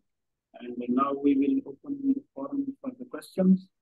And uh, here is Aslan who has a question for you. Aslan, we can ask you a question. Uh, thank you very much, sir. Uh, I have a question. What will be the new trends in next five years regarding the uh, use of technology for uh, for uh, educational purposes in in people's lives? Um, of course, uh, uh, their uh, technological advertisements has in, a big influence in educational process because uh, all people, all teacher, and all mm, person uh, uh, use uh, in educational process technology because it helps us for focus uh, our um, uh, our um, processing uh, in education in education. And uh, all people helps to contact uh, uh, each other. And uh, also it is simply simply for education. Um, i think yes i think this answer thank, thank you. you thank you very much here is a question from france singer so you can ask your question all right Uh, thank you sir uh, I have two questions uh, for Ms. Ohana and Ms. Uh, Salome Kutapa. Uh, my question to to Professor Ohana, how do you think about the advance of technology makes students cannot use the typical analytical thinking? For example, they use ChatGPT to get answer their schoolwork. And what solution for the, the recent issue? And the second one to Ms. Salome, what you think about the five to seven years old adapting new technology. And uh, do you think that this uh, result is that impact because they don't get enjoyment in education? Because uh, in early uh, childhood, uh, they must have uh, happiness. They, they must have enjoy uh, in education. Thank you. Thank you, ma'am. Okay. Salita, if you have heard the question, so please uh, answer the question. Mm, okay.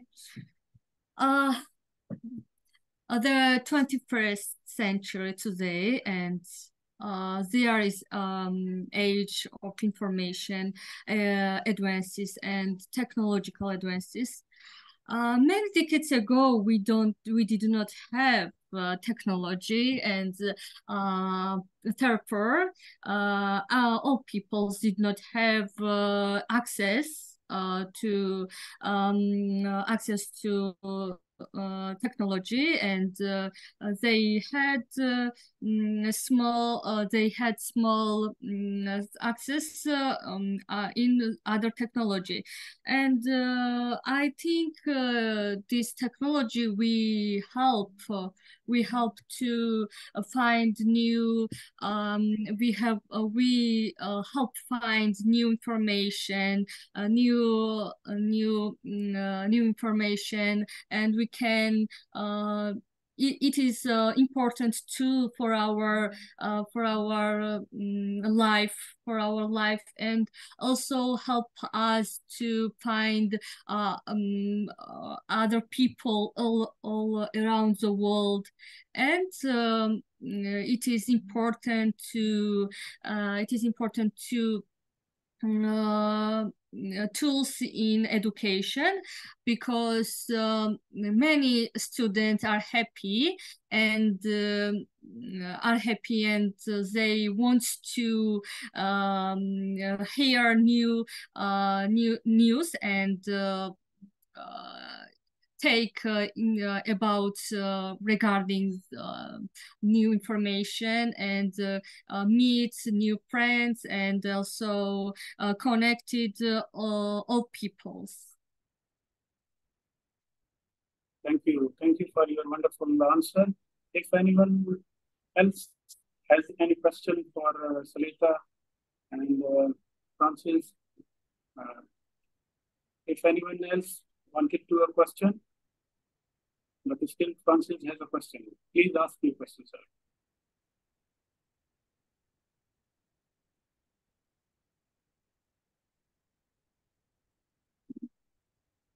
Sarita, I have a question for you. That what inspired you to do a research on such relevant topic, technology and education? What was the basic uh, reason or the motivation behind doing this research. Can you share your experience and ideas? What motivated you to do this research?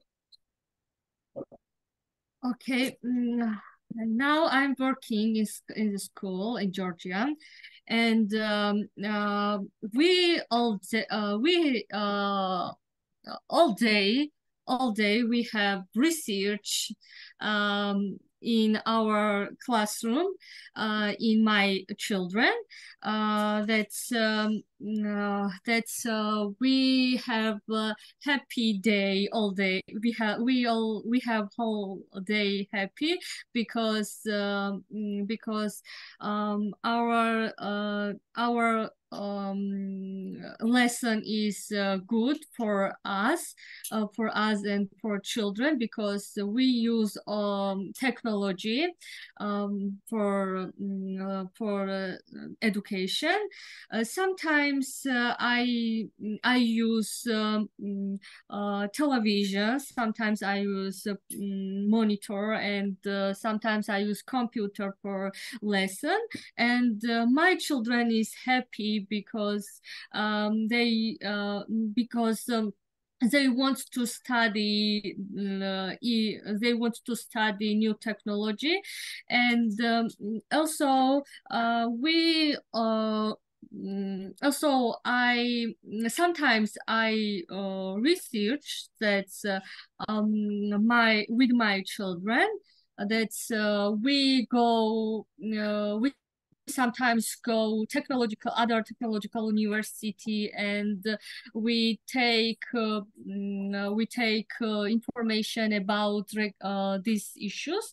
And after we uh, we are uh, we are uh, doing um, small information after the after the um, sightseeing after the sizing and uh, uh, we write also uh, decisions and uh, other information technology in our school. Thank you. Thank you for the wonderful answer. And still we are waiting if anyone wants to ask any question from you. Thank you. Thank you so much. Thank you so much. And uh, there is a question from, I think, Nurula. She wanted to ask you something. Do you have any question, Nur? Uh, no, I uh, don't have any questions. And thank no, you. So no, there is there is a moderator. Maybe she's she has a question for you. Oh. Yeah, our second moderator. May I have, uh, may I give you questions? Yes, yes. This yes. okay. Uh, actually, I really um interest with your topic because as maybe you already know these issues that in uh, New Zealand, I think in New Zealand, um, elementary schools that there is um trying to come back uh, for to the modern style of the education. They they uh, changing the um, method from the using technology to uh, the modern um, modern model of education. So when uh, so when people uh, when the elementary schools nowadays using a tablet or iPad for reading, now in the New Zealand they're changing it with the um you know the conservative books that have a paper and can we touch it and you know like we can use all all of our um uh apa? How to say? Oh i'm sorry i forgot that. Yeah so i mean uh we uh as we know that the technology is um improved nowadays but the uh education on the new zealand that we already know that um maybe in high level you know but they changing it in a traditional way. So what do you think about that? What are your opinion about that this is.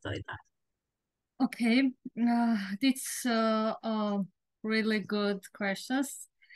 Um, yes, of course. Um, uh, no, no, uh, education, uh, technological advance help uh, our children to success in your life and change their brain and uh, also help um, they are happy and my students are excited to use this technology they prefer technology than uh, the book because uh, than the books, uh, and they don't want to write in paper. Uh, but uh, but um, uh, I think that uh, it's important also book also uh, technology. We have collaboration to each other um, for success education. Um, and um, I think also uh, that uh, technological advances uh, help uh, all people to communicate each other and communicate for uh, for students and meeting to, together uh, to meeting each other and also it is um, also provide provide to uh, provide to receive high level uh, high level and development change and causing and build the tools we need for comfort. Um, uh, for example, uh, technologies uh, technologies um, uh, such as smartphones laptops and tablets help us to uh, for education and uh, also it is good tools. Um, and uh, the global trends in education demonstrate how crucial it is to increase the use of information technology in the classroom for the success of the educational process.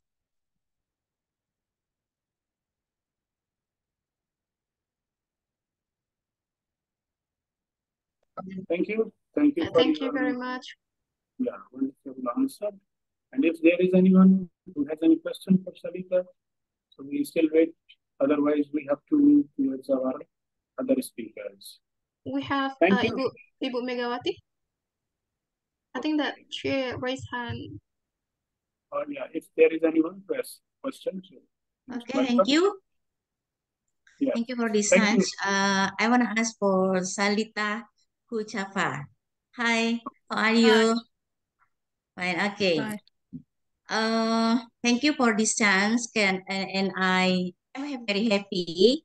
I can speak with uh, the other countries. Now, my question for you, uh, as we know that technological advances uh, have had a significant impact on social life in many countries. Uh, for example, uh, Indonesia especially, and any, any other countries yeah, in, in the world. And then um, one of the most uh, significant impacts uh, of technological advances uh, in um, many countries uh, is uh, the, the emergencies of social media. Now, what do you think about um, the techni uh, technological advances uh, for many countries uh, in their life uh, for each countries? I mean that. Okay, thank you for questions and um, technological advances uh, is important uh, for uh, us because today we connect it, we connected because I am uh, from Georgia and you're from Indonesia. Yes. Mm, And, yes. uh, yes, uh, we connected each other, and it is uh, in, uh, it is first. Um, it is first uh, significant uh, uh, block uh, that uh, we connect together, and also your questions is uh, uh, technological advance, advances is important. The social media, it i- yes, it is true, because uh, all journalists and all people to find in uh, Google and Wikipedia and uh, television to find new information. It's help us for um, uh, it help us for new news and reports for reports. Uh, therefore, um, I'm working in school and for other organization. I need to find uh, about uh, news regarding uh, other issues, and uh, it is important for me, I think, and also important for our people of the world. Yes. Um, uh, I think I I I need to find uh, information about what happened in Indonesia, what happened for other countries. Uh, I find this conference uh, in Instagram, Instagram, Instagram, and after connected and join you. Yes, it is uh, it is um, more significant. Yes, um, it is first uh, first uh, first uh, work for success for me. Yes, of course. And uh, mm, I think uh, technological advance is uh, significant for our life. Um, yes. okay. Thank you. Thank you. For Thank you, for, thank you, Professor Megawati, for your question, and thank you, Salita, for your answer. You're and welcome. we we are very grateful to Salita for such a wonderful uh, presentation. Thank you. Thank you so much. And now I will ask uh, Yubila to please continue for further presentation. Uh, I think, uh, Mr. Wazir, we have our next presenter, uh, Professor Abdul Hadis. I think we have to, Yes. yeah. Uh, is Professor Abdul Hadis with us? Uh, uh, okay, if he's not with us, then I think that I will give uh, the floor to Mr. Wazir to present um his paper. Is that okay, Mr. Wazir? Thank you. Thank Mm, you so much. okay. Yeah, so uh, I think that I will handle for you to moderate it, Yeah. right? Okay. I Okay. will, I will be the presenter and you have to be the moderator. All right. Okay. thank you. Um, Just just wait a minute. I yeah, I I think. Yeah, so because um our presenter is kind of like maybe uh, have uh, some issues or trouble at there, so uh, let's we uh move to the next presenters. We have uh Dr. Ah, sorry, uh, we have uh Wazir Ali to present his presentations. Are you ready, Mr. Wazir? Yes, I am ready. I, I Okay, want now, to start my presentation. all right.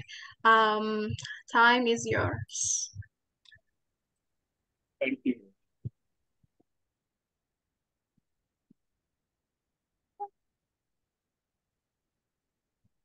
If my presentation is visible to everybody, so I can start.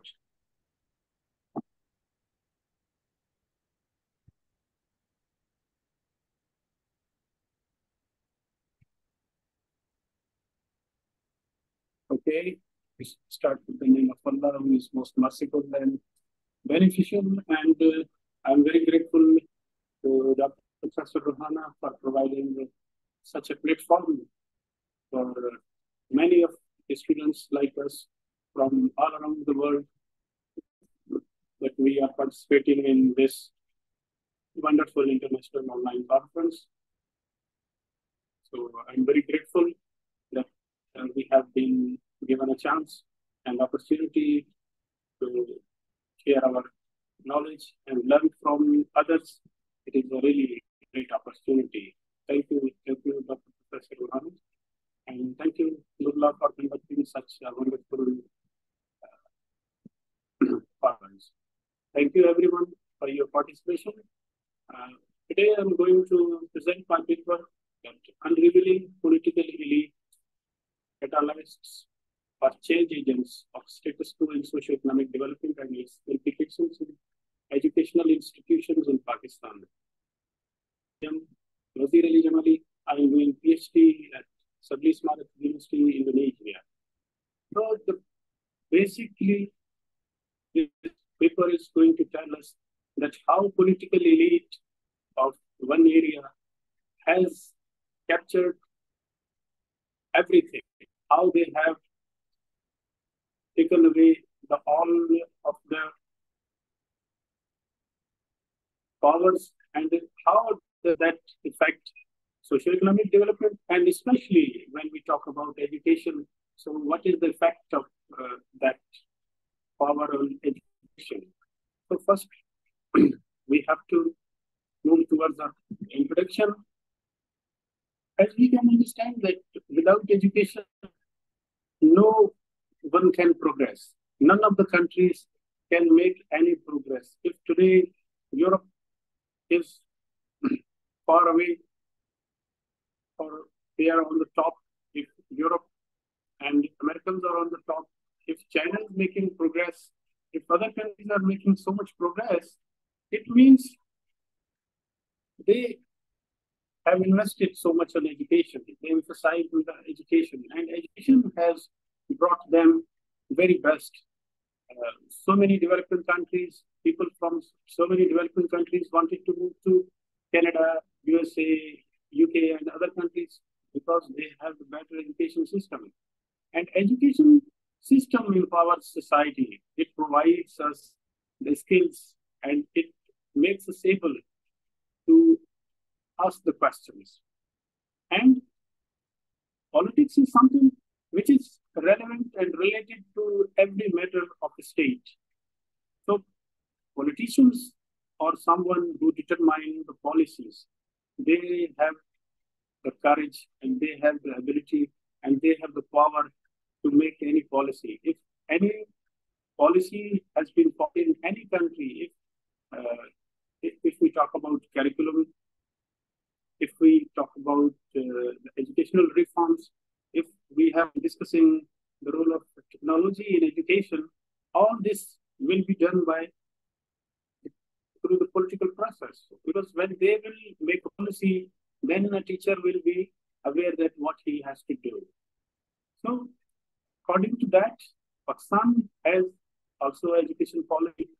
And according to that, uh, there is a, it is written in the constitution of Pakistan, according to the constitution, from age 5 to 16 years uh, child, it is compulsory for the government of Pakistan to provide education.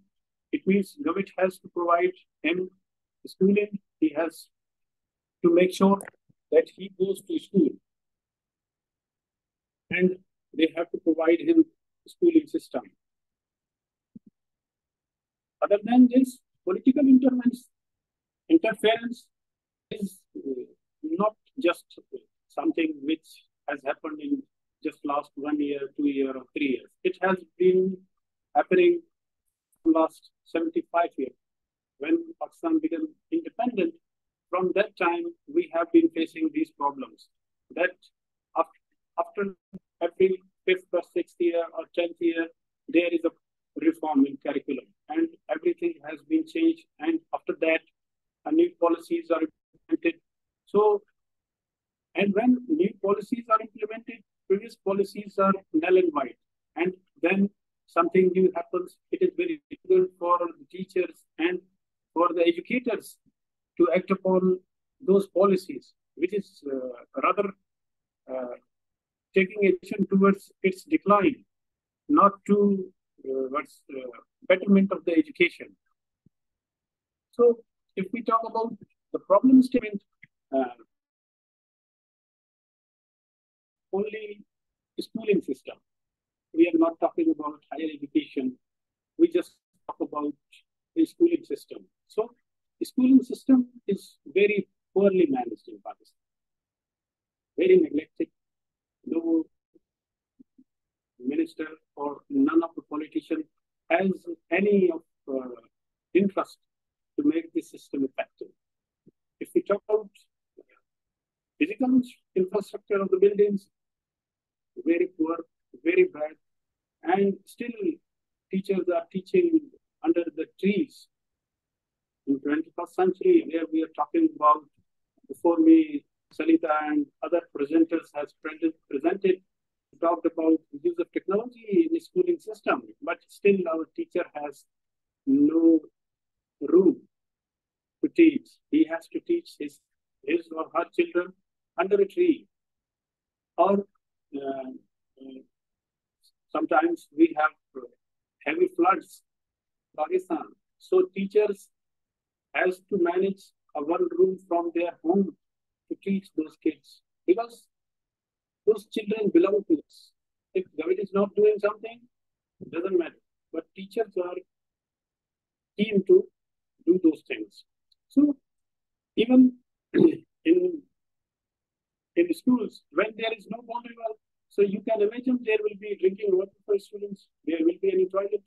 If a girl uh, of age between 5 to 16 goes to school and she has no toilet over there, what will be her condition? You are a woman, you can imagine what sort of condition and what sort of treatment she has at school. So will she able to go to school? And so many schools are shelterless. Sometimes buildings are very older, they get collapsed. So incidents happen like this. But it's a huge province of Pakistan, 44% of whole Pakistan, and it is mostly neglected by its own political elite, political leaders. Political leader means those the politicians take the vote from the people when they go to the higher position, they forget that how do they come here? They only think about their interest.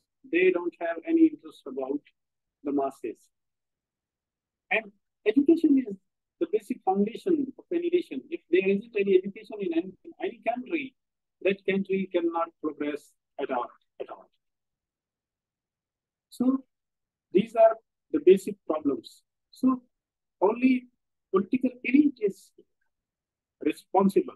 Political elite has made a connection with bureaucracy and uh, there are some teachers who also do not like to go to school. So teacher absenteeism is also a huge problem. But they are supported by those political leaders. When you have that much support, it means you are going to destroy the education system. So this is huge educational problem in Pakistan, especially in the context of the school system. There is a huge research gap. No such study has been conducted in this country about the role of political elite and its effect on education system. So this study has contributed a lot to research and for the policymakers.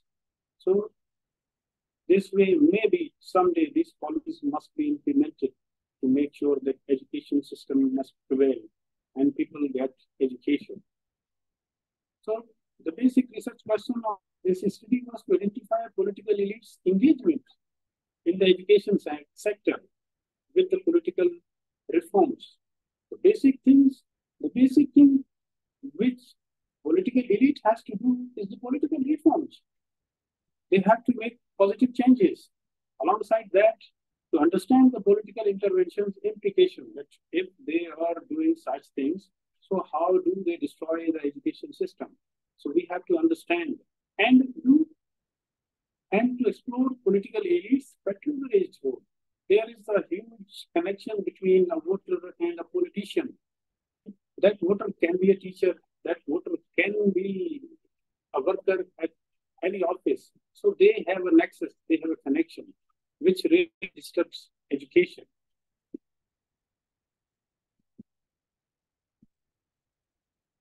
So the basic research question of this study is that political steel, the political elite is really engaged with education sector for betterment, or they just wanted to take their share from education sector because education sector has a huge budget in Pakistan.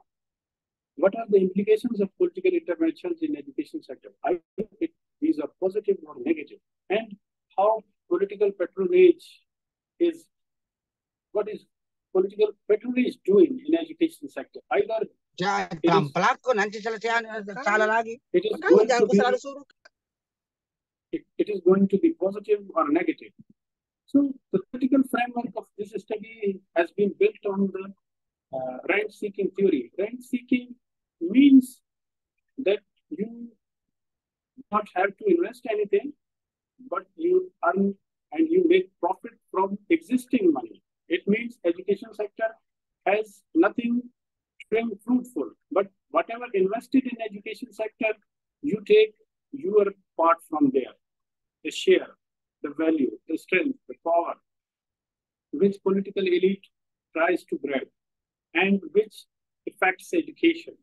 So rent-seeking theory was introduced by Gurdjieff in 1967, and it is the practice of acquiring social value, power, and we can say that when politicians and teachers and teacher associations have a nexus with each other, so they try to misuse the resources and everyone takes their share.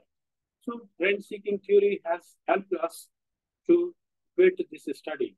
And there is a, and this can't be without corruption. So it is the institutional corruption with the help of rent-seeking theory. And corruption is a huge barrier towards progress. And political elite always tries to take resources of local people. If we talk about research methodology, qualitative research was used in this study and purposive sampling was done for this study. And in this study, uh, we interviewed civil society, journalists, political workers, political agents, political parties, and the higher education, higher level of education management, especially policymakers, and the teachers themselves, because they are the key, key component of uh, this study. And more than 50 interviews were conducted with different people to know their perception. And qualitative data is heavily uh, dependent on uh, perceptions and understanding what we understand. And the whole study was done uh, in narrative perception. So if I conclude my study, so the conclusion of this study has found that this region, region has been marginalized socially, politically, and economically for the last 75 years by their political elite because they have captured everything. And there is a tribal, strong tribal system. It is very uh, vast feudal system for thousands, for hundreds of years, because this system was introduced by the British colonialists in when they arrived in 17th century. When they arrived, they wanted to have the power, so they tried to make Nawabs, Sardars, and they gave them these uh, names. They were namely powerful, but the whole power was uh, in the hands of British. But when they came, they introduced the system, and they have gone back. But after, still, after 75 years, we are still facing them. They have the power, and they have the alliance with uh, non-state actors. And if you go against them, so you can't feel safe for there. So this is the huge problem. So political elite not have just the power of uh, politics, but some other powers as well. So political intervention introduced favoritism, nepotism, and which and corruption, which ultimately lagged behind Pakistan in education. Pakistan in India got independence just on a single day. If we imagine India and we compare Pakistan with it, so India is uh, far, far ahead from us, and it will uh, maybe take more 200 years to do a petition, but there isn't any competition between uh, Pakistan and India. Even Bangladesh became independent after uh, 1971. Still, they are better than us in education because there isn't any political intervention. So, political authorities at national level in Pakistan failed to adopt any such reforms or they did build or make any policy which can promote learning, focused education in Pakistan. So that's why we suffer a lot. If policies are not good, so results will be not very well. And at every district level, uh, there is an individual politician who has uh, support. And throughout district, uh, he has the whole, he has the control over all every officer uh, in a district. Either it is about education, health, everything, it is related and relevant to. No one can go against them. So even if they are, uh, if new schools are established in any area, the location will be selected uh, on the political interests because either he is my voter or not. Uh, if if schools are uh,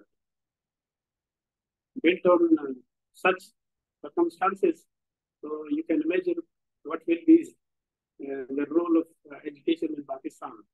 Feudal politics, corrupt bureaucracy, authoritarian regime, and fragile civil society, weak democracy, and political uncertainty in Pakistan are the key components which uh, make us Pakistan suffer in the field of education. And uh, day by day, we suffer more. So this was all about my presentation. And uh, I will ask Nurullah to open the forum for the questions. Thank you for listening. Yeah, thank you so much for Mr. Wazir. So let's be open for a question and answer. Is um for all the participants have a question, please raise your hand.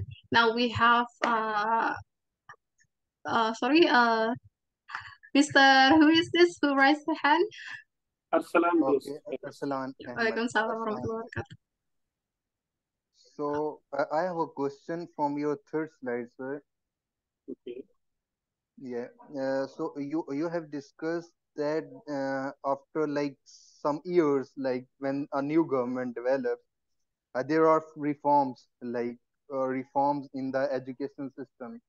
So uh, I think so reforms are better, like better for the educational system. Rather, they are not like uh, as as uh, like you suggested that these are not better like better for the primary education. So is this uh, contradictory? This this presentation was about primary education. This was about school education. It means from primary to higher secondary, every schooling system. It is not about just and uh, Aslam says that policy was about single curriculum.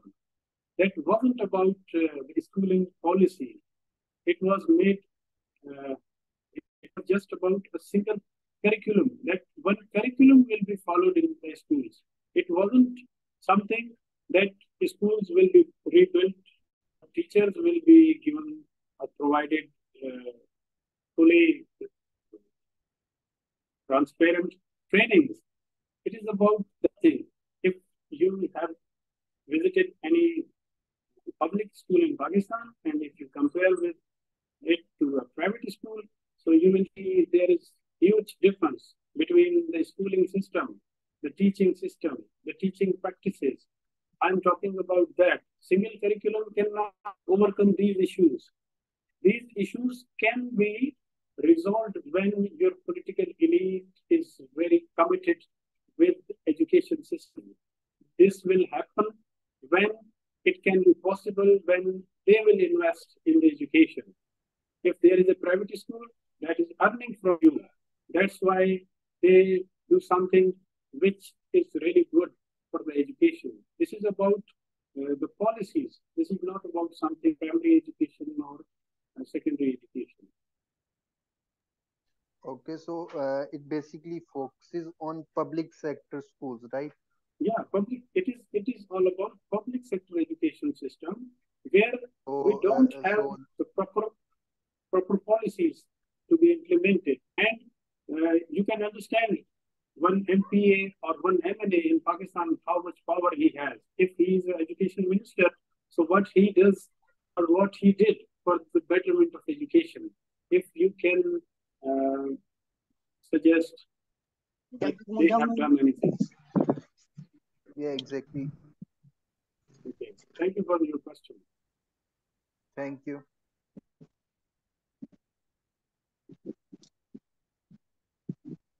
So, um, for the our second question is Francinaga. Yeah, time is yours. Yeah, Assalamualaikum, uh, Mr. Wazir Ali. Waalaikumsalam. Uh, I have two questions for you.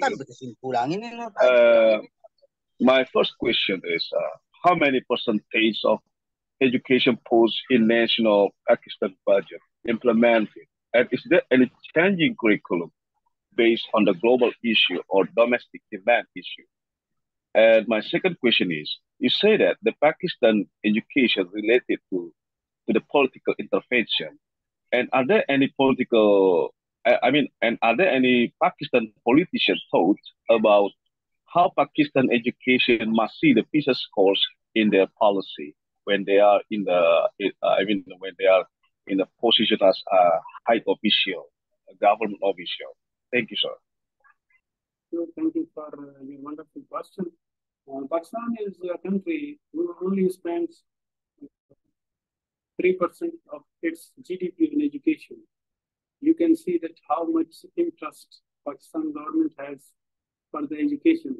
But if you are only spending 2% or 3% of its GDP on education, it is very less. It means you are not committed with the education.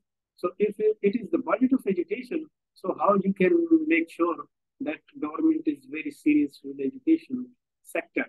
And the reforms, I already mentioned that, that are after every second year or third year, new reforms are uh, done in the education.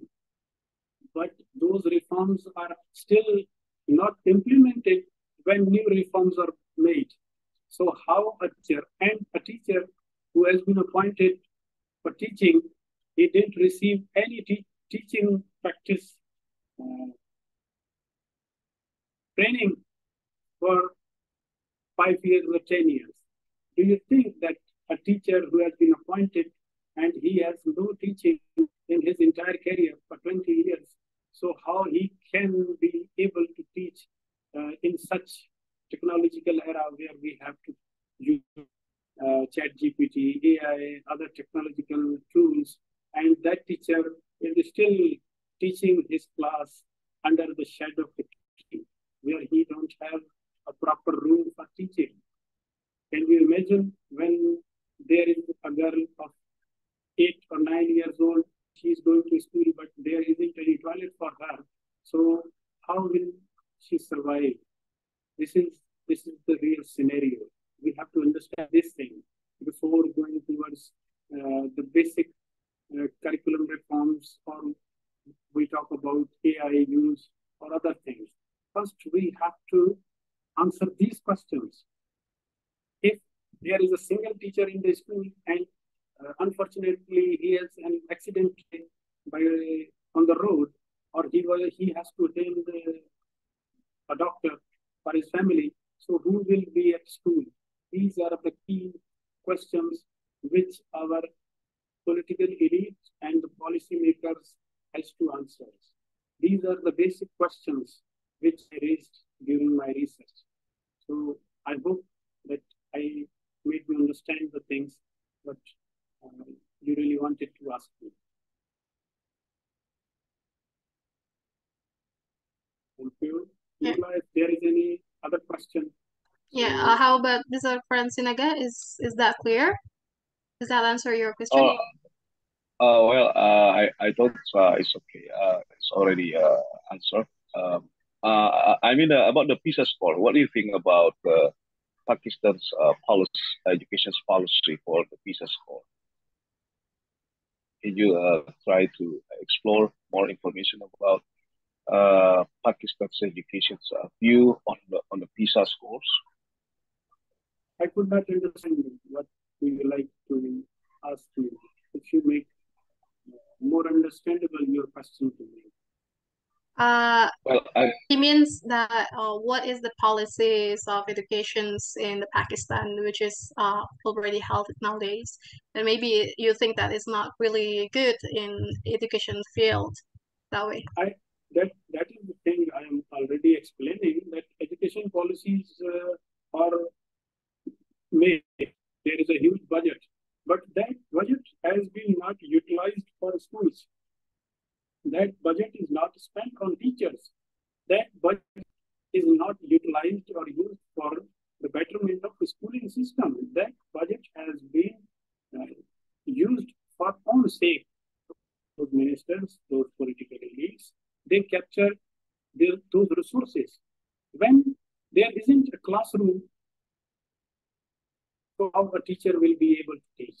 If there isn't a good environment for teaching, how a teacher will teach? If a teacher has to teach under, uh, if a teacher has no school, no school to teach, there isn't any building of school, so how he will be a better teacher? If a teacher has been not provided any training for four years, five years, so do you understand that he can be a good teacher?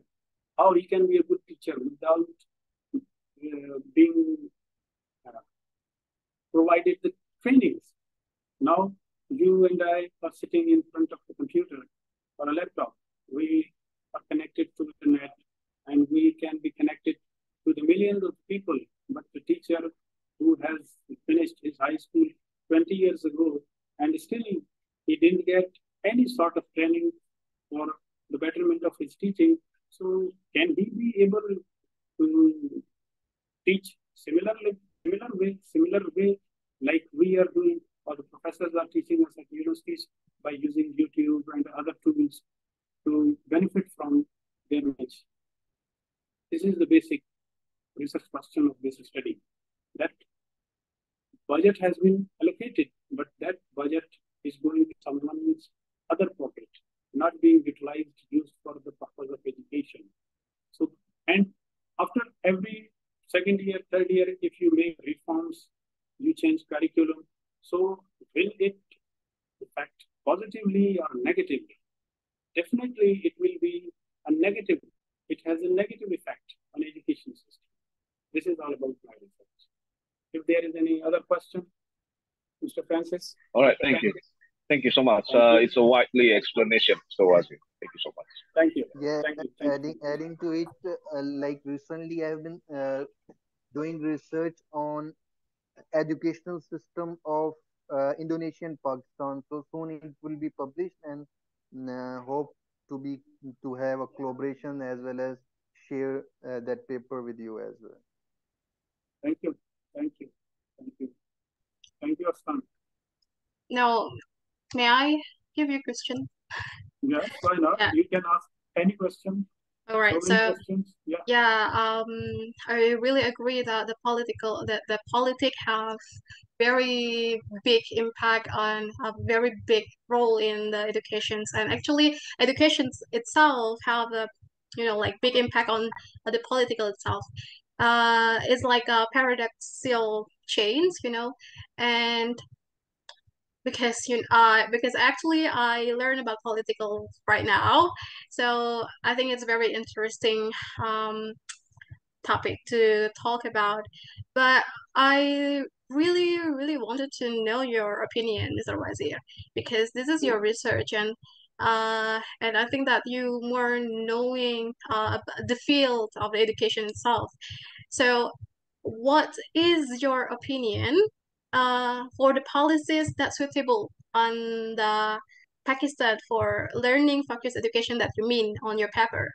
You know, like because you already researched for this, that it means that you already knowing or uh, manage your uh, thoughts about this this actually is suitable for uh, educations uh, in Pakistan.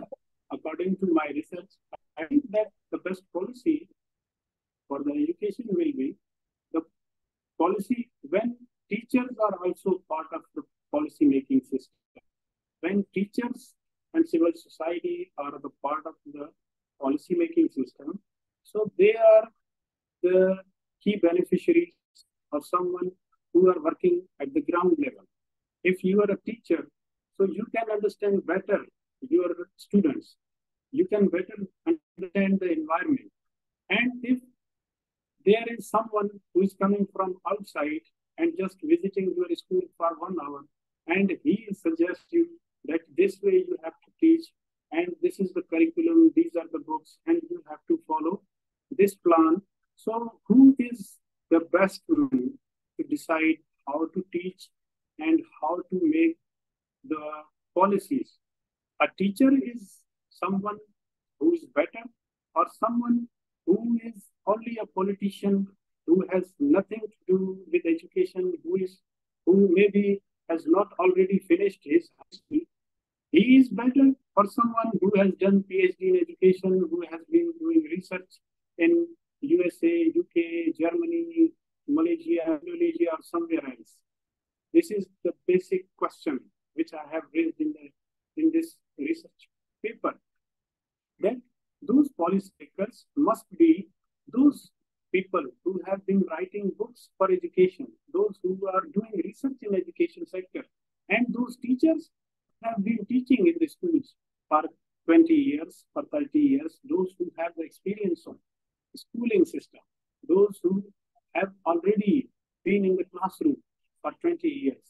They, they, they are really mature enough to understand the basic problems of the students, basic problems of education system, and basic problems of children, how they must be taught. But here, policymakers are those people who have no interest in education at all. They don't even have any experience of education after they finish their schooling or college. They never uh, attended any lecture on education. Today Dr. Rohana is a professor and she has been teaching for 30 years, so she is she has better understanding of education or a student who just enrolled in Bachelor of Education. So who, who has more experience, more exposure, and more understanding of the education system? These are the basic questions which we have to answer. We need, we as a researcher, as an educationist, as a teacher, this is my responsibility to make sure that I share these things with policymakers. And policy making must be done by these people, not by just political elite who has nothing to do with education. Because tomorrow we have to send our children to those schools. Policymakers' children will go to the private schools. They don't care about this education system. So these are the basic basic questions. I hope you can understand better, and now you can make more questions to ask. Yeah, thank you so much, Mr. Wazir. I think that uh, Mrs. Salita has a question for you. Yeah. Uh, wait, I think she. Uh, yeah, Miss She's, Salita. she's, she's there. All right. Uh, okay, maybe um, another participant is there is any questions for Mr. Wazir, or maybe not only a question but uh opinion for uh yeah for lighten our discussion. Professor Megawati is also here. Maybe she has a question. Sorry, Mr. Wazir. Professor, Professor Megawati was there. Oh, Professor Megawati, do you have any question for uh, Mr. Wazir?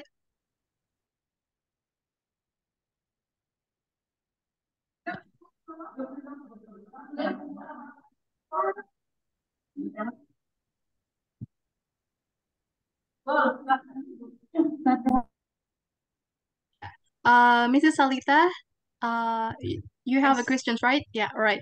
Uh, time is yours. Uh, can I answer uh, so questions? Can I uh questions? Yes, yes, you can ask your question. Mr. Wazir Ali, uh, I have a question. Is there technology-based learning in Pakistan? And what kind of technology are used? And what do you think how mm, uh, professionally they are used uh, us- used in teaching? In our schooling system, still in the public sector schools, there isn't any use of technology. Only we are given a computer to just maintain our records. But if we talk about the higher education system, uh, in universities, definitely we have uh, uh, the usage of technology over there. Uh, teachers are using similar facilities which almost you have in your universities uh, in Georgia or other parts of Europe or uh, other parts of the world. But in our education schooling system, we don't have such facilities because I have mentioned in my presentation that we don't have the buildings where our teacher has to teach. Our teachers are teaching under the shade of trees. And uh, we live in India where we have almost floods after every third or fourth year. So teachers have to teach at their home. They facilitate their students and they try to make sure that students get education. Or we use tents for the purpose of teaching. So you cannot imagine that how suffering environment we have. And if you are a woman, so you can understand that if there is a girl of age of 10 to 15 years, and if she has to go to school and there is no toilet to be used, so how suffering the situation is for her. So this is the real condition uh, in Pakistan. So how you can imagine that there can be a good environment for technology in this. Thank you so much for answer. Thank you. Thank you for the thank you for your question. Okay, next we have uh, Mr. Tahir Nawaz um, to ask your question. So Mr. Tahir, uh, time is yours. Yes. Uh, I have a question from Mr. Wazir Ali that how to bridge the gap between the primary educational system and policymakers in order to address this issue in Pakistani context? Uh, the basic thing, uh, Nawaz, we have to do make we have to make sure that there must be a connection between educators and policymakers, which is which is not uh, something which cannot take place. By some such things are possible if you are at a university. So universities can be the bridge because universities are places where we do research. Researchers can make sure that there must be uh, there must be conferences like this. As today we have been discussing, there must be such webinars between teachers, educators, and university professors. So then policymakers will also join those meetings when these four pillars of education system will sit on table, then it will really bring fruitful results for the betterment of education. Otherwise, there isn't any other bridge who can connect people because a teacher don't have any resources to meet a policymaker. A policymaker has no uh, understanding of teaching. You are, if you have been, you have gone through uh, the public sector schooling, you can better understand. And when a policymaker who has studied his studies uh, abroad in US and UK, so he cannot understand better the education system, schooling system. So we need people from ground level. We need people from universities. We need researchers.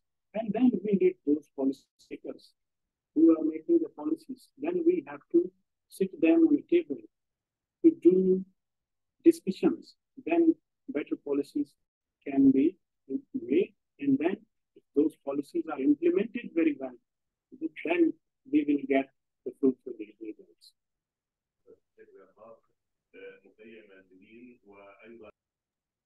I hope I have answered your question, Nawaz. Do you agree with this? Uh, yes, sir, I agree with this. I, I want to add that uh, uh, as your uh, mm, answer that we can aid from grassroots in order to address the national issue or because the one who survive in Pakistan or one who is teaching in Pakistan from primary level or who has served in Pakistan as a university level, he will uh, add more value or in order to address this issue. Thank you so much for your answer. Thank you. Thank you. Yeah, thank you so much for Mr. Tahir. Now, next we move to Mr. Muhammad Ayub. Uh, time is yours. Yes. Yes, of course. Thank you uh, for participating me. Uh, my question is from Mr. Wazir Ali. Uh, I hear uh, its uh, answer. So now I have a question in my mind. I am from Pakistan. That uh, as uh, Sir said that here in our education system, advanced technology is not present. Uh, I mean, the advanced research is not performed. The student only repeat the old uh, methods, not the research in advanced technique. So how this problem uh, will be solved, or the whole education system will be changed, or there what type of uh, people will bring this change? Thank you for your question. The thing is that uh, change comes slowly. Change never comes ultimately in a single day. If you are a researcher, you are doing research. So with the passage of time, we understand the research. If uh, you have your bachelor's in Pakistan or you did your master's in Pakistan and you were not provided such uh, facilities for the research. But when you go to a better institute and you find better chances of research, so you learn from the environment, you learn from your friends, and you learn from your professors. If today uh, you look at uh, international universities, almost at every university you will find two, three, five, ten, twenty, or more than these numbers, but they are from Pakistan. Maybe they are also from the same institutions where you have studied, where I have studied, where Tahir Nawaz is studying. We are from the same background. We belong to the same people. It depends, it all depends on our ideas and our own hunger, our own dedication, that how much we are committed with our work. If we are not committed, so professor will not teach us. Professor has to guide us. Professor will not write a research paper for us. Professor will only make sure that this is the way, and if you will follow the path, you will find the success. And this is something which we lack in Pakistan. We only rely on others. We do not want to be committed. And uh, if if we do something really with the passion, if that is not uh, studied or we are not given the right answer on right time, so we feel hurt and we stop working. This is something which we have to realize that something it is not important that every time we are addressed very well, but we have to focus. If we have to focus, we have the determination, we have the dedication. So finally, we will get the better results. I hope you understand you. Uh, yes, thank you, sir. Thank you. Yes, sir. I understand it. As you say, uh, when the student did not uh, receive the give the right answer at the right time, so of course here a problem will be created. If they receive the answer, so I think the problem will be solved in that time. It is it is the main thing. But we also have to be committed with our uh, work. If we Yes. are not committed, so no one can do anything for us. Yes, of course, sir. It is our responsibility. Yeah, thank you so much to Mr. Muhammad Ayub. Now, next we have a last uh, uh, participant to, for give a question. This is um Mrs. Zakia Samo. Yeah, time is yours. Thank you so much for the uh, in addition to participate conference. Um, I'm from Pakistan, but I'm currently to Uh, yeah.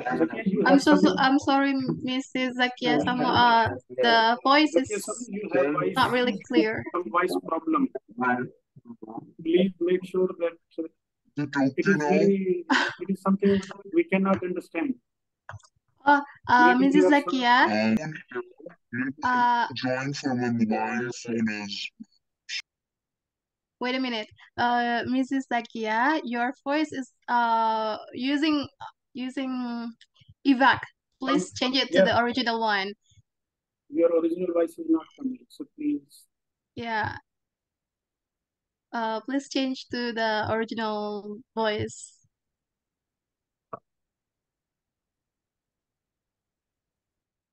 And I think Mr. Abu Bakr Okay, let's joined do- us. let's move uh to To Mr. Abu Adamu first, then Zakia last, right? Yeah. Uh, Mr. Adamu, please uh give your question. Time is yours. La.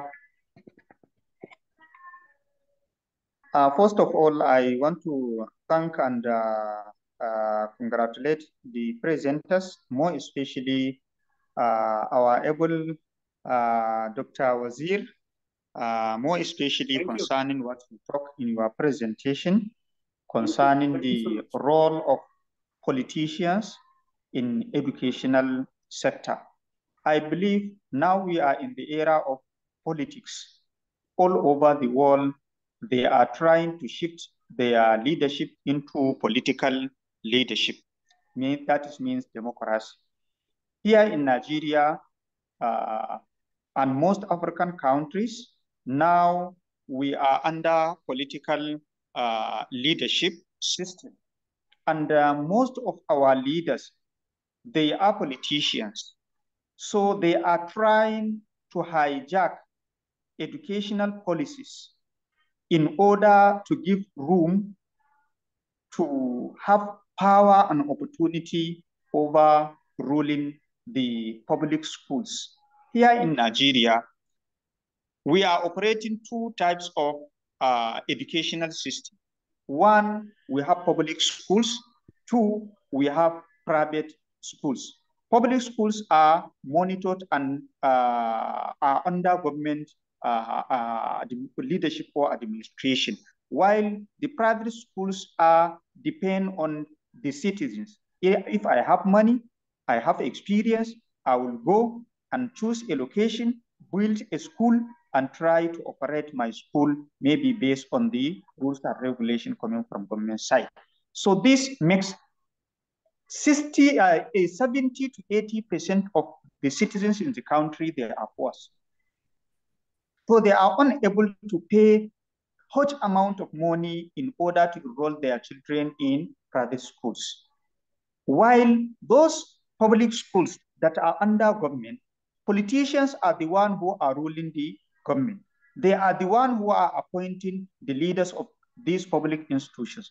And then they are the one who are building and establishing uh, private schools. So they don't want people to take their children to government schools. That is why they prefer in operating private schools. So we need to address this challenge in order to allow low income people or low income earners to enroll their children into school in order to maintain this issue of education for all policy uh, from the UN. So really, this problem is not problem only in our country or in our continent. It's a worldwide problem, more especially in African countries, more especially in my country, Nigeria. That is what I want to say. Thank you very much, sir. Thank you. Thank you, Abu. You have only two education systems in your country, but we have more than two. We have a public sector where students go to uh, government schools. Then we have two public sector schools. One is very cheap one where mm, poor people can afford, and one which is uh, American and British school system where wealthy people send their children. And fourth one, there is a mother education system where only those people send their children who want their children to get Islamic education. So we have four different categories of system in Pakistan. So it is comparatively very different, different scenario in Pakistan. So we will move towards uh, other questions. I think uh, Zakia Samo has a question. Yeah, because we have limited time, so I think that we just uh choose one uh a participant to give a question, right? We have Zakia Samo again. Uh, are you ready, Mrs. Zakia? Yeah, thank, am I am I clear? Like, am Yeah, I yeah, clear. audible to everyone? Yes, yes, Thank you so much for giving me the chance to speak for on this pres- prestigious uh, platform. Uh, I'm from Pakistan, but I'm currently pursuing my master's in uh, Beijing. So uh, I have I want to take I want to have your take on the fact that uh, currently there has been enhancement in AI technologies, which students are very familiar to and they are very uh, intact with these technologies. Uh, don't you think that we need to have this educational uh, system change or reform in Pakistan? Because there are a lot of general degrees or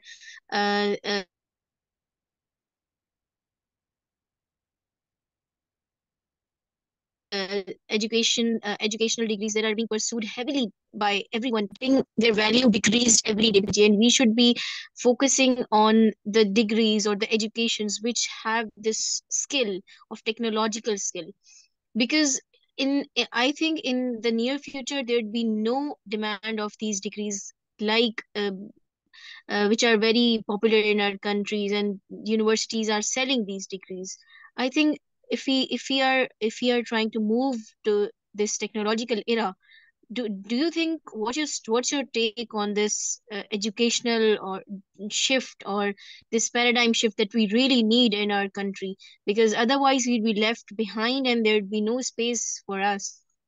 Zakia, you have uh, the most wonderful and relevant question to our education system because uh, you know why we suffer a lot when we uh, go abroad after being selected for PhD, PhDs and masters. We have a lot of degrees, but those degrees are only piece of papers. And Now I have arrived in Indonesia. Uh, Dr. Nurullah will also uh, my argument that here a student in bachelor's is doing research from fifth semester.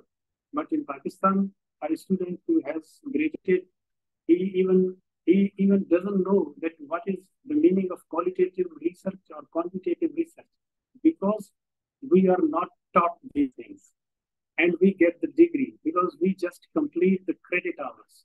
A student who has done masters for master degree for MS and they are awarded the degree, but they don't know what is what was the real method they have used for the research. And when they arrive in, in Indonesia, Malaysia, or they go to Japan, or they get the position at even US, when they go there, they find everything very hard, which is very difficult for them because they don't know the research, they don't know anything about this. And Pakistan and the education system of Pakistan, we just focused on uh, the primary education or the secondary education, but we have the question from higher education, which is most more relevant to our study at the point that we sell degrees. We do not give them education. When they don't have education, it means they are unable to understand world. And today we are talking about AI, we are talking about ChatGPT, and we are talking about something where we have to make sure that we move towards uh, the advancement of uh, technology. If we say, if we comparatively look at our neighbors, China, India, Indonesia, Sri Lanka, they are far, far better in education sector than us. Why we are behind them? Because we just sell the degrees.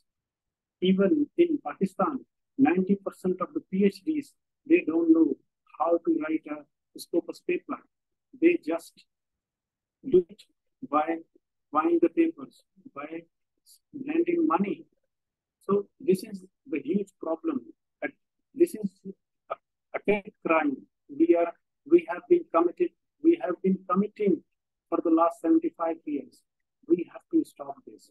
And we have to make sure that we, we produce a real product. When students from Pakistan get a scholarship at China, Malaysia, Indonesia, when they go there, professors feel that they will do really hard work.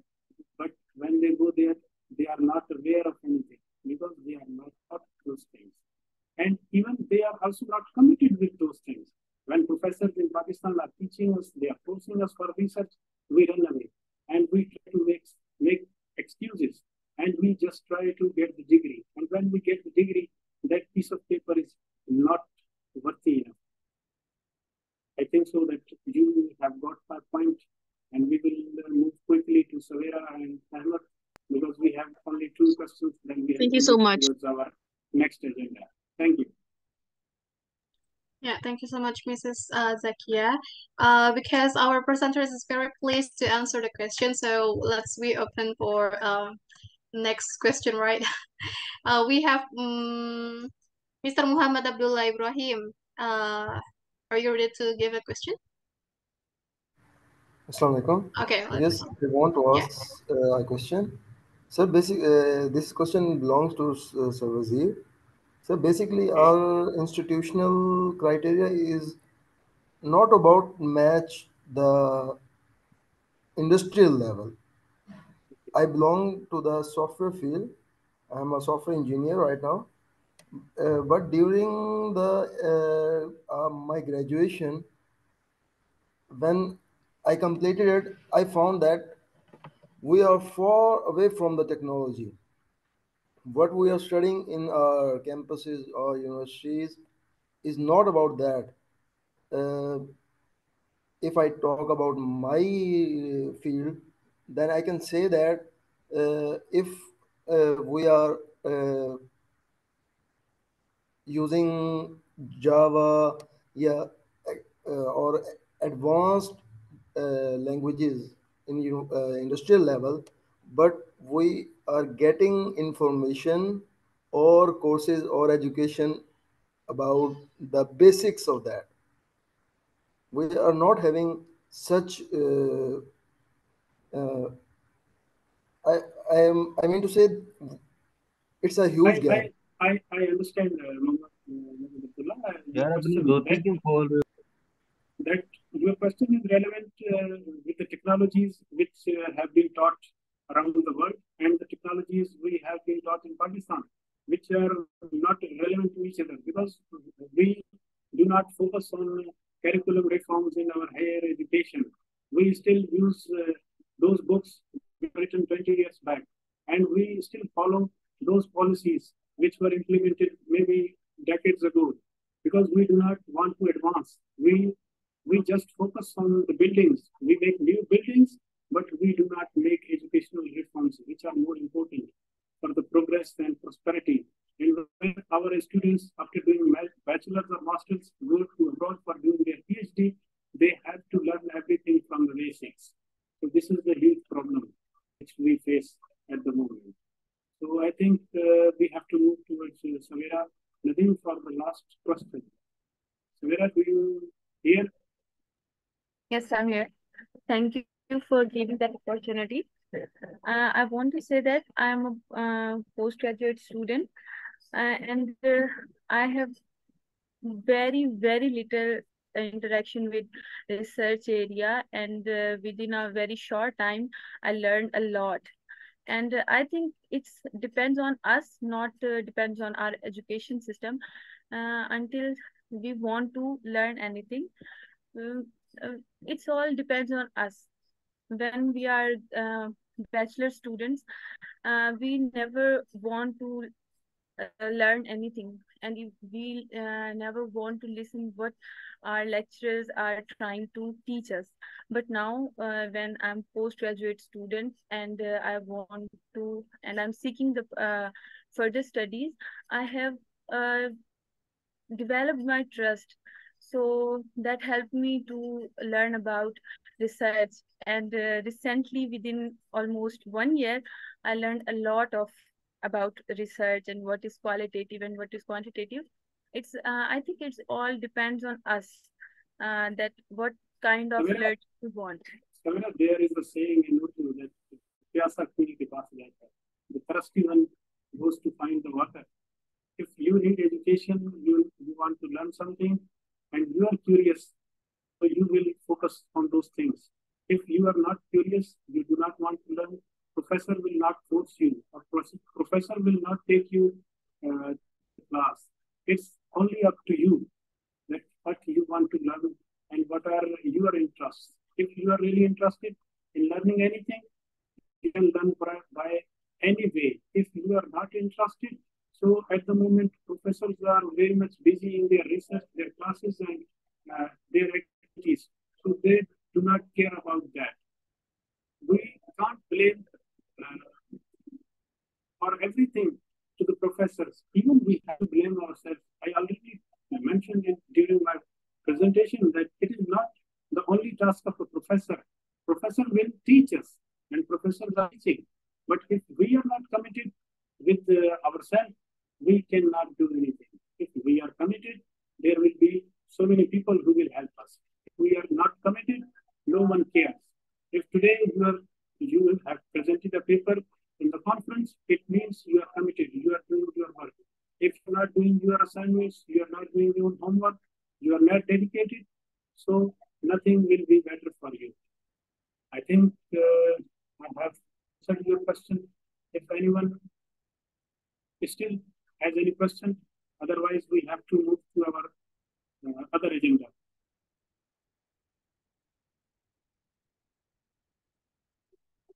Yeah, Irfan, I really agree with you that uh, in Pakistan we mostly focus on uh, uh, CGPA, but we do not focus on learning.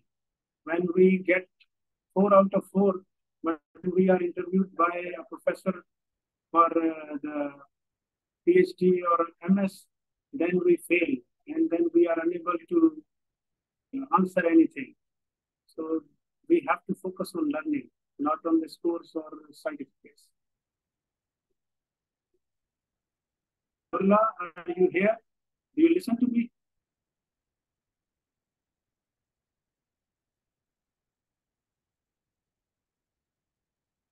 Can we have Yeah, uh, uh, I'm so sorry. Yeah, I'm so Yeah. sorry, Mr. Wazir. I have a I have a trouble of connections here. So is that is that already finished your session? I think if we have uh, our other participants, otherwise we have to keep continuing our conference like this.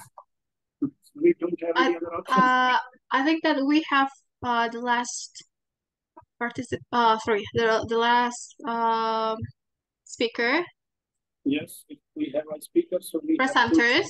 Yeah, yeah. Yeah. Okay, who is Mr. our last- Is Mr. Digvijay already with us? Ah, yes, ma'am. Yes, ma'am. I'm oh, yeah, yeah. Right. All right. Um, yeah. So, are you ready to present your uh, material? Ah, yeah, sure. Give me All a right. minute. Yeah. Okay. Now we have the last uh, presenters for today.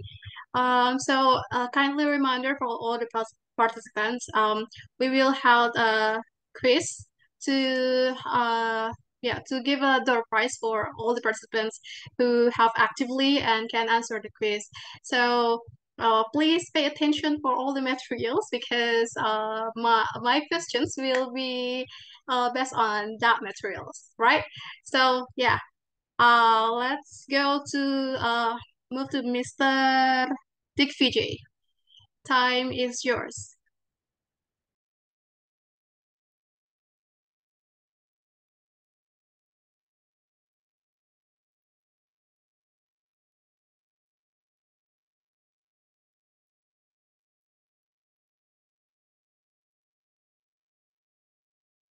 Yeah, Mr. Digvijay.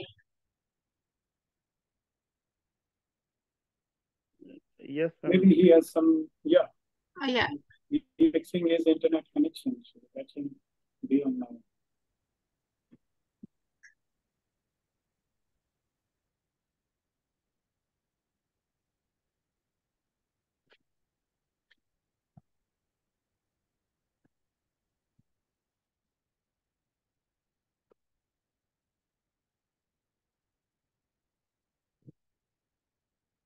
Give me a minute, ma'am. I'm just connecting with my laptop. Give me a minute.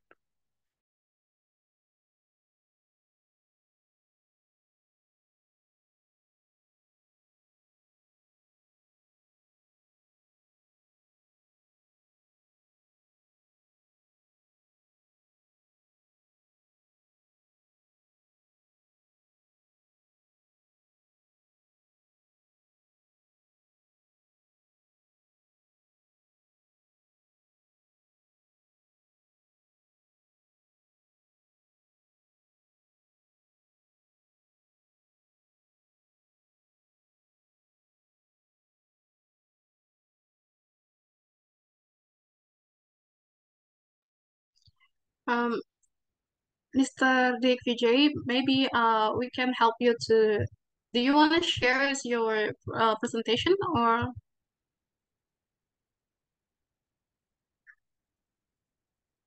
If if you want to share, you can uh reach our uh, committee on the group. So yeah, we can share it for you. Uh, give me, ma'am, one minute, but I'm just connecting with my laptop. Oh, okay, okay. Some issues in with my phone, so. All right.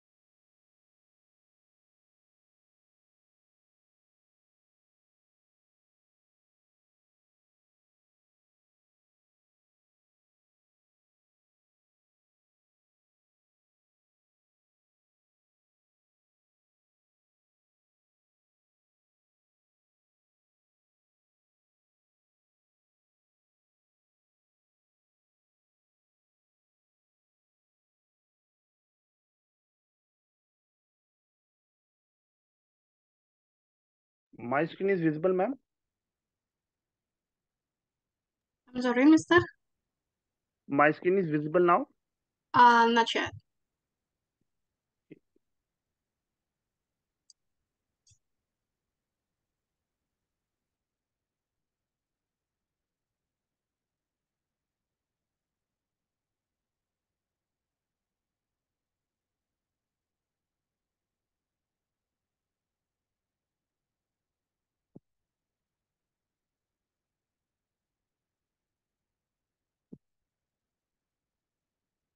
Now it's visible.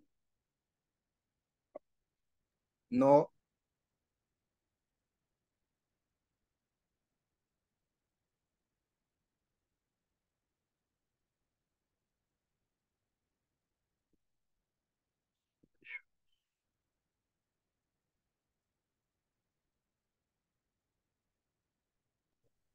Uh,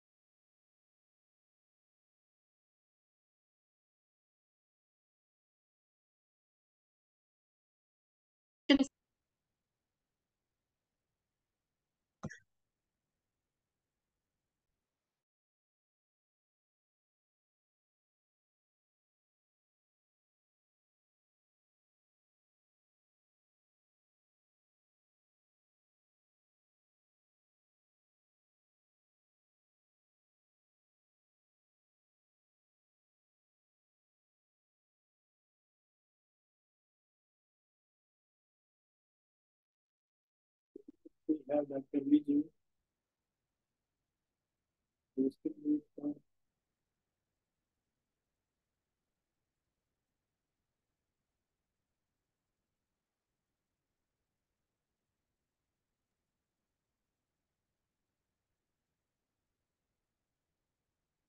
I think some issue from my side. I'm unable to share the screen.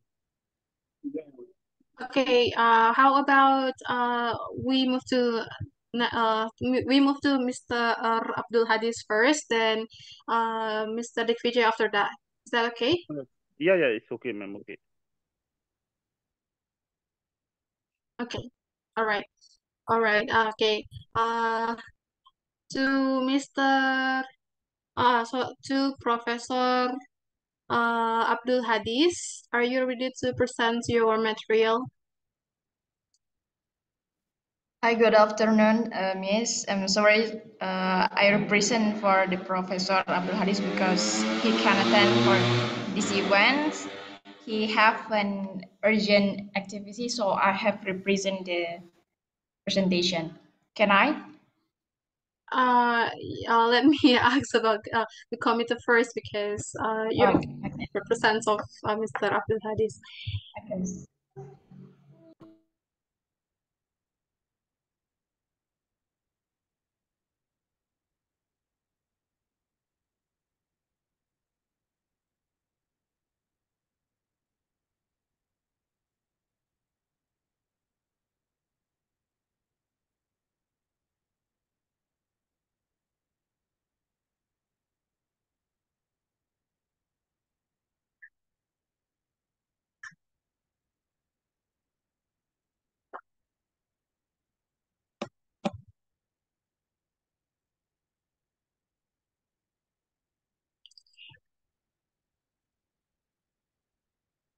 Yeah, so uh, for Abdul Hadis percent, I think that we need to wait uh decision the decisions for uh from committee to uh allow you uh pres present your uh is that your father? Is it? Yes. Abdul Yes, is your father? Yeah, yeah. So yeah, I mean like we need to uh uh, got the permissions for that first from committee, then uh yeah, then yeah, I will give you time. But nowadays it's not really uh we we don't get the permission yet, so I think we just give uh Mr. uh Mr. Digvijay time to present his materials. Is that okay, Mrs. Uh, Mrs. okay. what? Okay, uh, Mrs. who? With Mrs. who? Miss Ilmi. Miss Ilmi. All right. Now, uh, for Dr. Dick Vijay, um, are you ready to present your material? Ah, yes, yes, ma'am. I'm ready. All right. Okay. Uh, time is yours. Okay. So good good morning to all of you.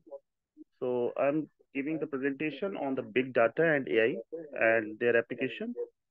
Uh, myself, Dr. Digvijay Pandey, working in technical of Department of Technical Education, Government of India, Government of UP, India. So it is uh, it is a kind of knowledge sharing session. So today agenda is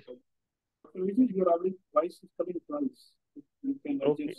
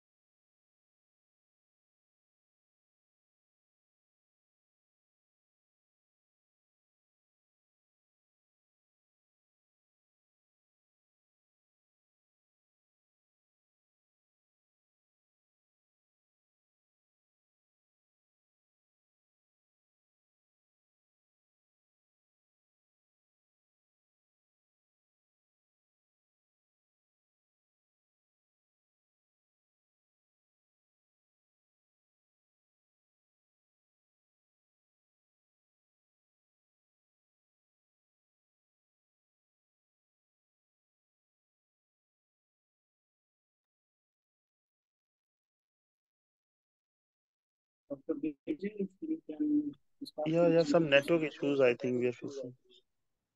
Yeah, because It's audible now? coming twice. It is audible, but your voice is coming twice. Okay. So today agenda is introduction to the MATLAB math work, importing and exporting the data, and uh, pre-processing the time series data, and introduction of machine learning and deep learning applications, and their current time uses.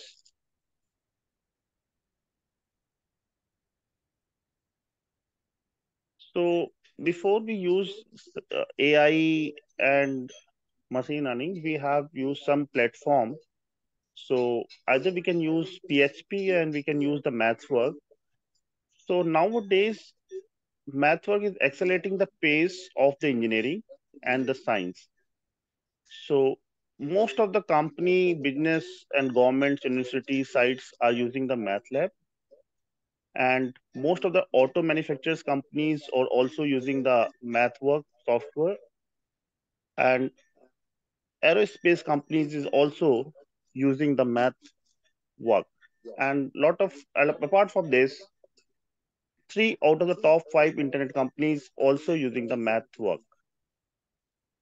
So MathWork is a kind of software which give the industry standard and high level programming language for algorithm development, numeric computations, and data analysis and visualizations. And one, apart from this, we have one more uh, Simulink is there. And this is the leading environment for modeling, simulating, and implementing the dynamic and embedded system.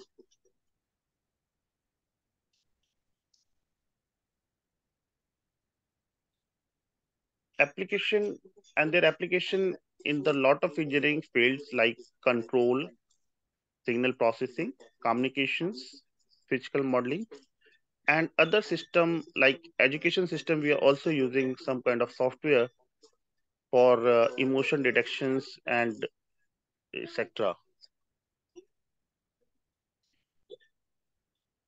So these are the key industries where we use the MATLAB and Simulink software like aerospace and defense.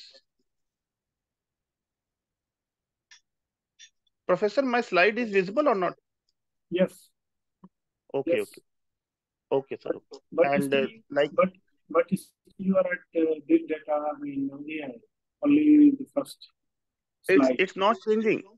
No, it is not changing. Okay, okay, okay. I think it. I think some network issues are here. So that's But sir, you have to keep continuing because you are running out of time. Please keep continuing. it's changing now. Still, it is I can't see but we must. Nurla, do you see that slide is changing or Uh, no, no. no? It is only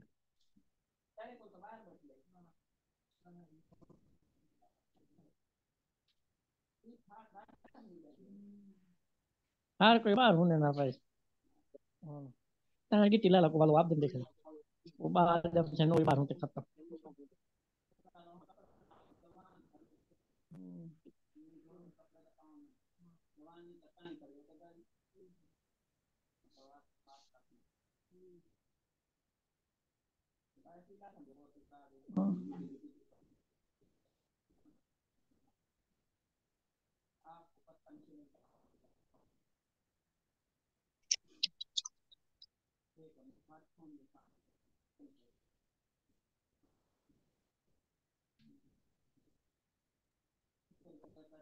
Sorry, Professor. I think some network issue. I'm unable to present. Mm-hmm. Nurla can we move to the other speaker. if, Dr. Ah, yes. Vijay still has any problem, so he must solve and we do it again. So we can wait for the. Nurla, do you listen? Yeah, yeah, okay. Uh, all right, because uh, Mr. Dick Vijay have kind of trouble there. I think that it's very wise to uh, move uh, to our next presenters. We have Mrs. Ilmi represents his father, Abdul, uh, Professor Dr. Abdul Hadis. Um, Miss Ilmi, are you with us? Yeah, Miss. Here. I'm ready for the presenting.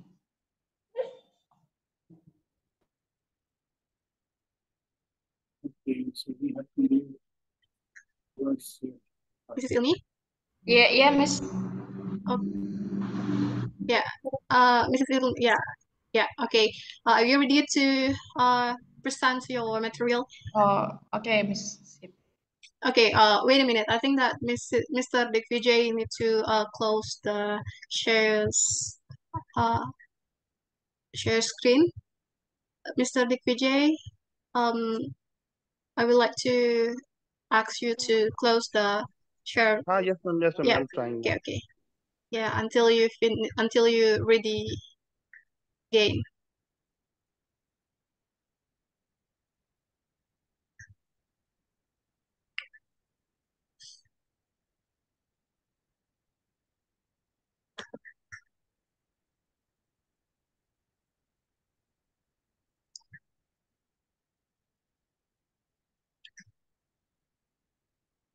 Or or maybe uh Mrs. Uh, sorry, Mr. Vijay can uh leave first, then come back again. I think you need to refresh your PC first. Okay. All right. Yeah, Mrs. Uh, Ilmi, time is yours.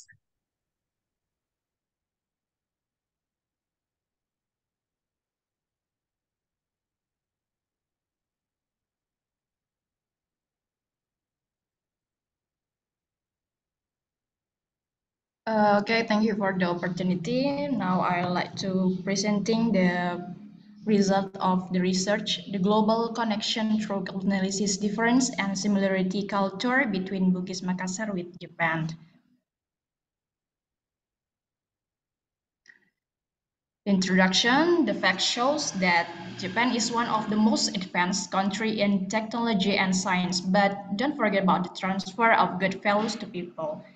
Therefore, Japan is one of the countries that has a clean culture and polite culture that is exemplary by other countries.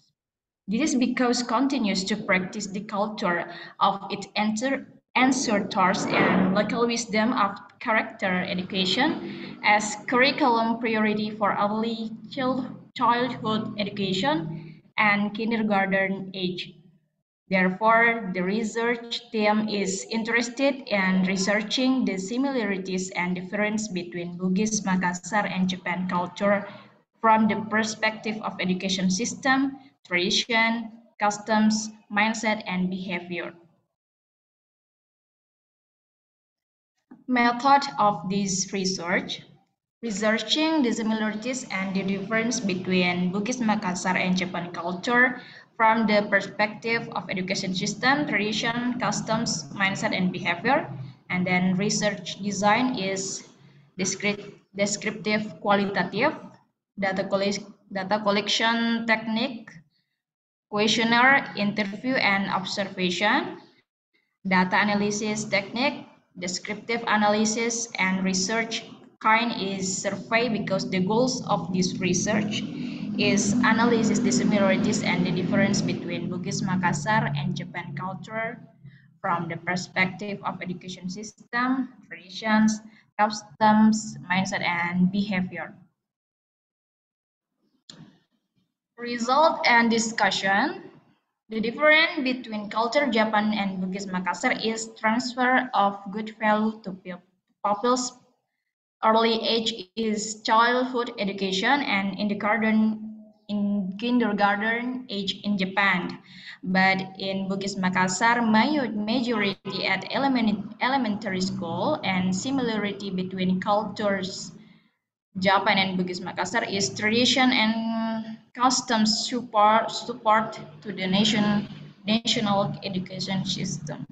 The very striking difference between the culture of Japan mindset and Bugis Makassar is mindset and behavior patterns of Japan is the smart and hard work, creative, productive, and innovative, but some of Bugis Makassar people have a prison-oriented mindset, so they show behavior that is less less hard and smart, less creative, less innovative, less learning hard and smart, less disciplined, less visionary, and less consistent in working hard and smart. So they do not master science and technology.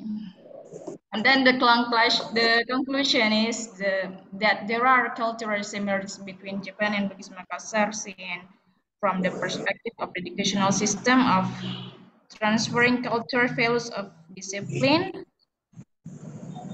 courtesy, and corpor corporation. And the difference is the the transfer of culture is carried out from toddler age, so that at the level of early childhood education in the kindergarten, the education system is character education. The significant difference is in the mindset and behavior patterns. Namely, Japan has a mindset of the present and the future, so that so that Japan people behave hard and smart work, creative, innovative, productive, visionary, disciplined, and consistent in hard and smart work. Hard and smart learning so as to master science and technology, while some Bugis Makassar people have to opposite mind and behavior. Uh, I think that's enough to presenting the result of research of Prof. Abdul Hadis. Thank you for the time. Thank you. Thank you for your presentation. Nulla, can we open the forum for the questions? Yeah, uh, to Mr. Riyadil Agra, uh, we would like to inform you, please, un, uh, please mute your uh, audio, so yeah, we can really focus on that. Yeah. Can can the operator please unmute Riyadil Agra? Please.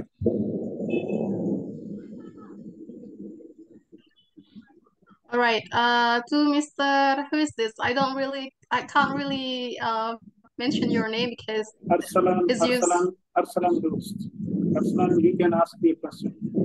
Arslan. Okay. Okay. Okay. I have a question that uh, how you compare the primary level education uh, of Madagascar people with the, that of Japan, like in your uh, research, or it is specific to only the higher education? Sorry, mister, I can't hear your voice clearly. Can you write down in the chat room?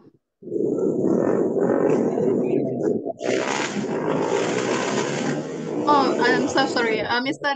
To Mr. Riyadil Agra, I hope you can uh, mute your voice so yeah, we can really focus on this uh, forum. Okay. Mr. Riyadil? Okay, so uh, my may I repeat the question? Yes, sir. sir. Repeat your question. Okay, so I, I have a question that uh, is it specific to the primary level education, uh, the comparison of uh, Japanese and that of Madagascar people, or it is related to higher education as well? Uh, if so, then how you cope up with the primary education?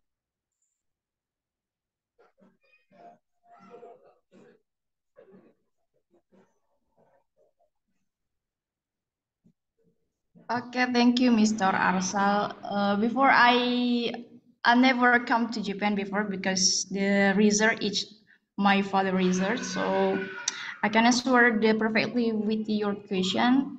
I just uh, have opinion about the best uh, education on the kindergarten and the high education in the university. Um, based on we have seen uh, in the social media that Japan have a discipline from the child uh, from the they they have a toddler until they uh, until they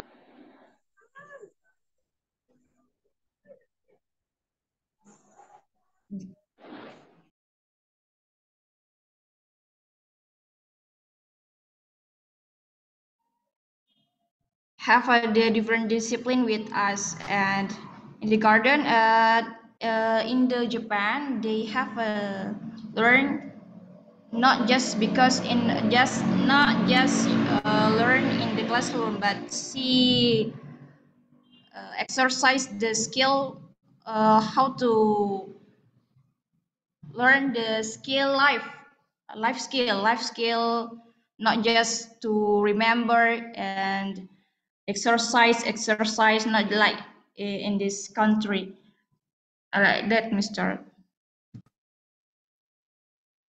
Okay, thank you. And I think Tahir Nawaz has a question. Tahir? Uh, yes, sir. I have a question. Uh, I, I have a question for a researcher that could you like to share the future incomings for upcoming researchers? How can the, the upcoming researchers can generalize your research in order to conduct their independent study?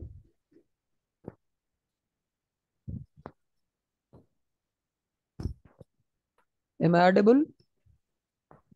Yes, yes, we listen to you. Now you have to wait for the answer. Yes, sure. sorry mr can you repeat your question Uh, yes, sure. Uh, could you like to share the future incomings for future researchers that how your research can be helpful for them in order to conduct their independent study? Mm, okay the future research uh, just for the disciplinary between we can learn from the Japan disciplinary and from the hard work from the Japan.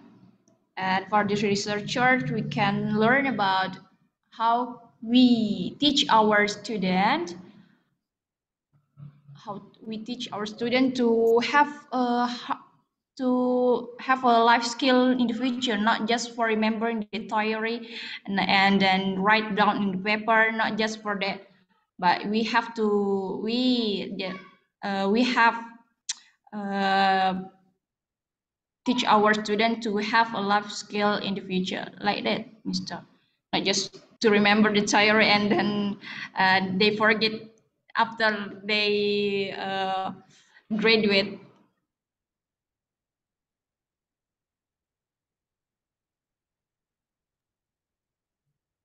Yeah. How how how Mr. Uh, Tahir? Is that clear? Uh, yes, ma'am. Thank you so much. Is that Okay. answer is All clear? right. Uh, uh, so Miss Ilmi, I, I think that I have kind of like opinion about the topic. Uh, I don't I don't really quite agree with the opposite of um But the there is, opposite. Huh? Sorry. Nurul, uh, there is a question, uh, there is raised by someone named Riyadil Agra. Maybe she wants to ask a question. Oh, Mr. Riyadi Lagra Yeah. have a question. All right. Okay.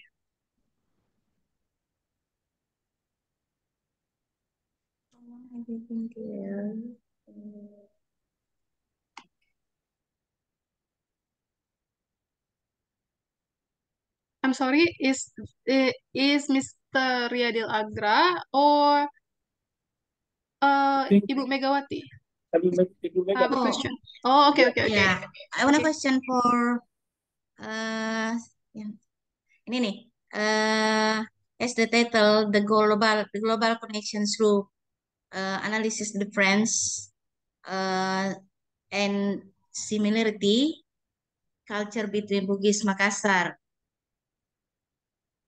Uh, my question is, uh, just want to know uh, the similarity of the culture between Bugis Makassar and with Japan because uh, I come from Bugis Makassar actually. Uh, and then how far the influence for you uh, can implementation in your life, especially for teach for your students in, in, in Bugis Makassar especially. I think that's all. Thank you. Okay, thank you, Mom. The similarities, the culture between um, Japan and Indonesian, specifically for Bugis Makassar, is gotong royong in, Indone- in Indonesian language gotong royong cooperative cooperation Yeah. Uh, uh, hmm, uh, kumaha nak? Kayak bahasa Indonesia aja ya, Mami.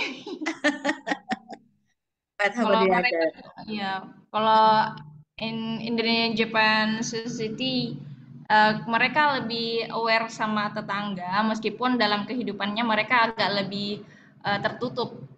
Mereka mereka tetap uh, fokus pada pekerjaan, tapi kalau saat tetangganya butuh bah bantuan, mereka nggak bakalan segan-segan untuk membantu gitu, teman-temannya, tetangganya kayak gitu. Terus mereka tuh uh, nggak punya waktu banyak buat ngobrolin uh, keburukan-keburukan orang. Jadi mereka memang benar-benar fokus sama kerjaan mereka masing-masing. Itu Tidak kayaknya ada waktu gosip. Iya betul.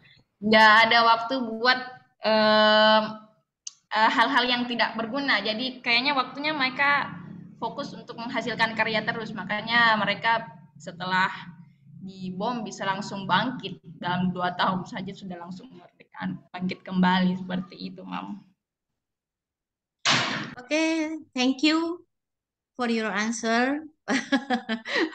but how about the other? Can understand what you say? I'm sorry for the other you can understand what I say. Okay, okay. Thank you. Welcome, Mom.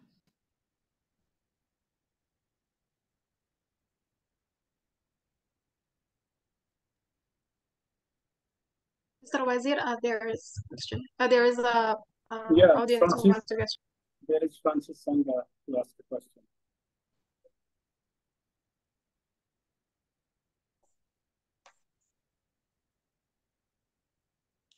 Francis, can you hear to us?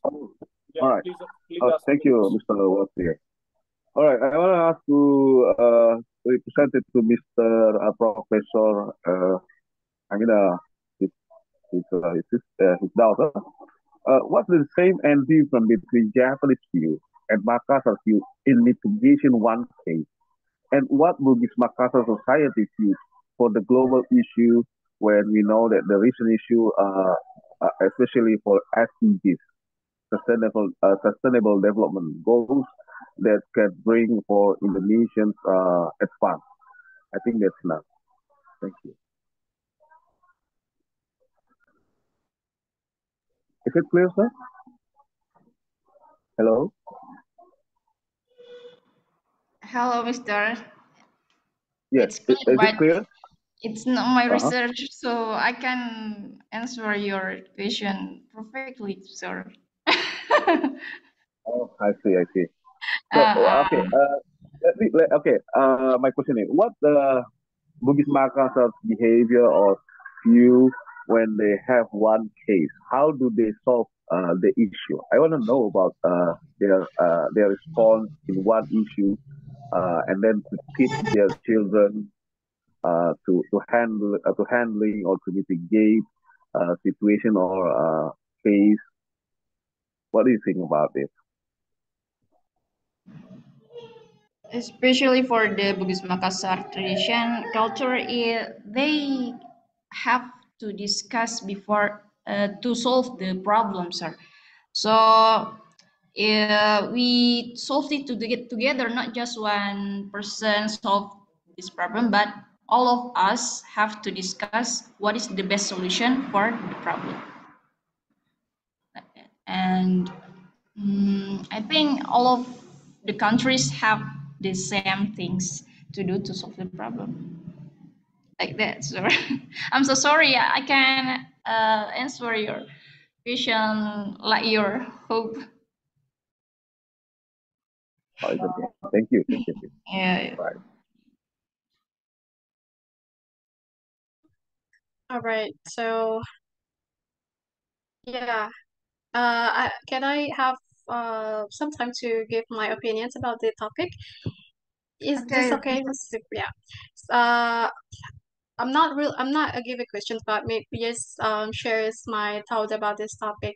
Uh, like what I said before that uh it is we have kind of like similarities between uh Japanese cultures and uh Bugis Makassar uh cultures, but uh in the conclusions, I see that there there is a opposite between them, right? I see. Uh, but I think it's not that really really really distinctive the opposite because as we know uh, maybe uh, Mr. Uh, sorry Professor Abdul Hadis knowing um, the the term of the concept of uh, Siri na Pacce and you know uh, that's yeah. the yeah yeah Siri na Pacce it means that um it's it's better we die than we can't then we can't get what we uh aim or what our what our goals. It's better we die than if we're not uh it's better we die than we can't get our goal. That's that's the mean of the Siri na Pacce and um you know the the concept of dignity and what um pride is very big in the Bugis Makassar uh, uh, cultures. And I, I know that um, nowadays that the the the cultures and the concept of life is not really uh, showing uh, in our uh, in our generation nowadays but yeah that's that's what I over to to analyze it more and you know from that we can strength, straighten our concept from uh for that. So um we can reach the the level of uh, similarities from uh the cultures of the Japan. Because you know like Japanese actually have kind of the um the concept of life too. Like you, you already know that the harakiri concept that yeah uh they they they kill their self because um failed of something. It's it's same with the Siri na Pacce uh concept of life. Yeah so but the difference is in our uh generations we don't really knowing about the concept yeah uh anymore.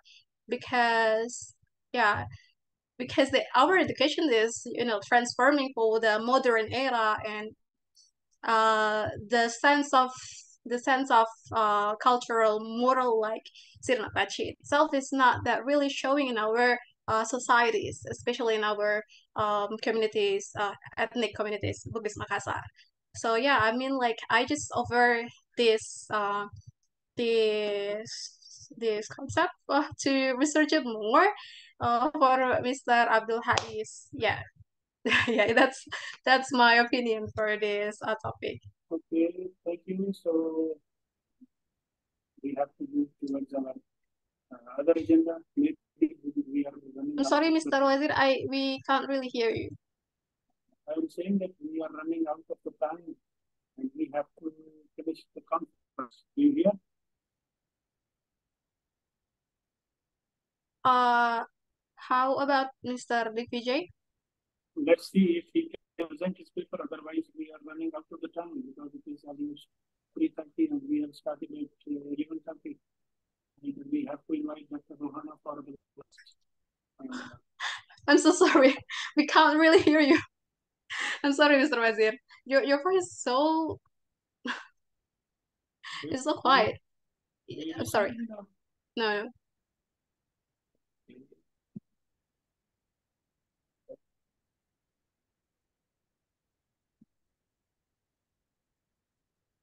Okay, can you repeat once again? Okay.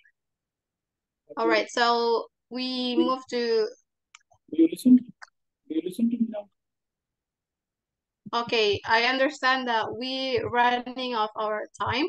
So we move to the next session, right? Yes, and we have to. All right. Okay. All right. Okay, thank you, Mr. Wazir. So, uh, that's all uh, our participants for presenting their materials. Uh, now we have a quiz session. Actually, this is a quiz session for the door prize. So the committee um have a door prize for uh the participants, but I think it's it, uh yeah it's fair if I give a question first or quiz, then the participant asks, uh, sorry, answer the quiz, uh, answer the quiz, and yeah, from that I will give um, I will give the prize for the participant who have contributions for this event. And yeah, uh, for for the participant who got the prize, you can reach uh our committee from the group uh WhatsApp WhatsApp group. Yeah, please reach our committee for uh, get your prize. Now, um, let me give uh, some questions. And please raise your hand if you who won the prize. Not yet. Not yet. yeah. Um, please answer my question first. Then if you can answer correctly my questions, I will give you a prize. That's how it works. All right. Now, um, uh, first question. All right. Please raise your hand if you knowing the answer. What is the advantages of technology on the education? Please mention at least two advantages. Yeah, okay, Mr. Can you repeat it, Tahir please? Oh, all right. Uh, I'm so sorry, I have uh, Mr. Tahir Nawaz uh, to answer my question. Can you repeat it, please? Okay, what is the advantages of technology on education? Please mention at least two advantages. Yes, I am audible myself, Tahir Nawaz. Uh, so I, will- I am answering this question. Uh, th- there Yeah, are okay. there are multiple uh, multiple technologies nowadays in uh, which are advancing the education. First, uh, first I Mm. would like to uh, uh, first I would like to aid the multimedia, multi digital multimedia in the classrooms in order that how they are advancing the education system.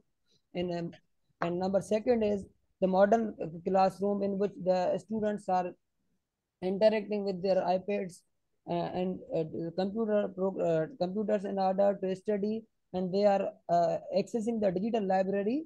Uh, number second is that, and number third is uh, number th- third is we are uh, when we use uh, uh, when we use only interactive class is class study. We are when we work on skill set like earlier uh, presenter show, shared that in Japan they are more focused on practical activities in their classrooms.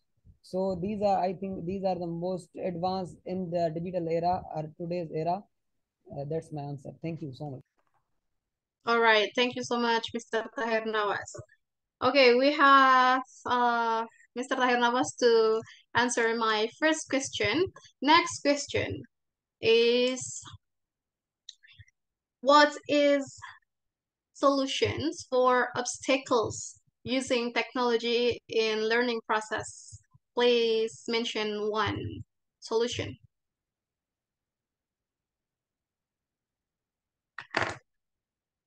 Okay, may Okay, yeah. I'm so sorry. What is your name? I can't really read your name. It's just an Arabic uh, subscript, like it's uh, Arsalan. Ar Arslan? Yeah. Okay. Uh, yeah. So, uh, like your question is technological advancement, right? The What so solution for the obstacle of technology in okay. learning process? Also, okay. So the accessible. Uh, the best thing is to ex uh, the access of internet to every every student. So this is this is the best thing, like to roll out to urban areas so that they can easily access and uh, through access of that they can easily access the technology and uh, the education. Okay, Okay. I have, uh, to interrupt you here that uh, we have to go for the last presentation. I'm so sorry. What? I'm, I can't really hear you, Mr. Wazir.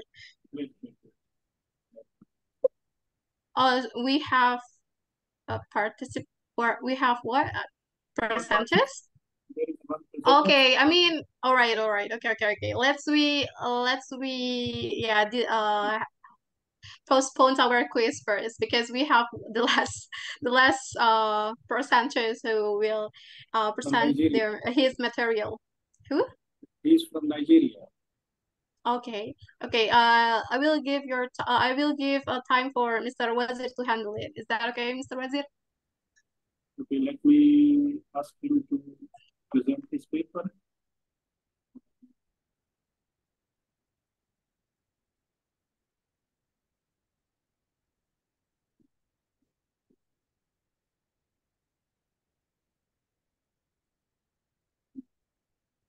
Jimmy, Jimmy Segar, are you here?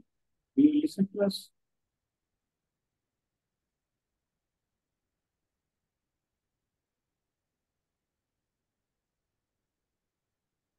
Jimmy Segar, do you listen to us?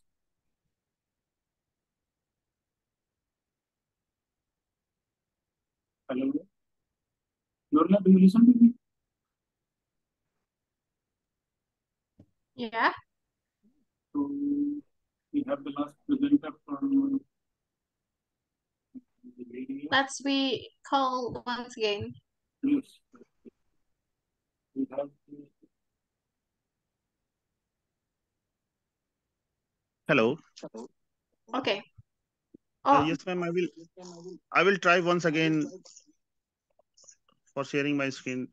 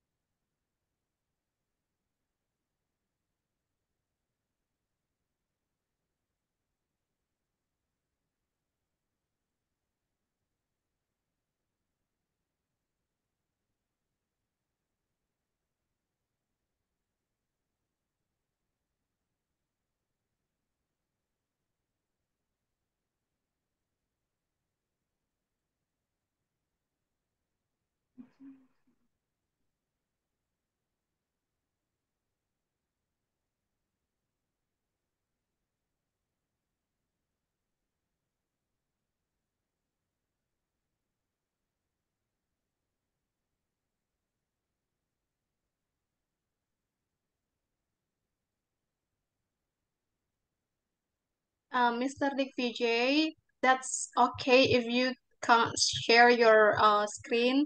You can um still present your materials without the PowerPoint. I think it's better like that. Okay, Dr. Vijay, if you can. Visible now? No, presentation is not visible. It will, it may it take Okay, I time. think today today I'm facing some internet issue.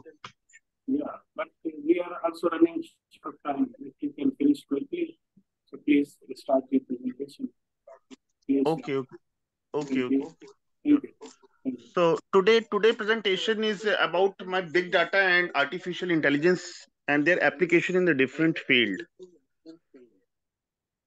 So so any application while implementing the artificial intelligence, machine learning, deep learning, we need a software that is MATLAB or PHP software, open tool software. But before we start this, nowadays ma- many companies and organizations are using the MATLAB and Simulink softwares like Honeywell, Toyota company, Ford. Lot of companies are there who are using the MATLAB softwares.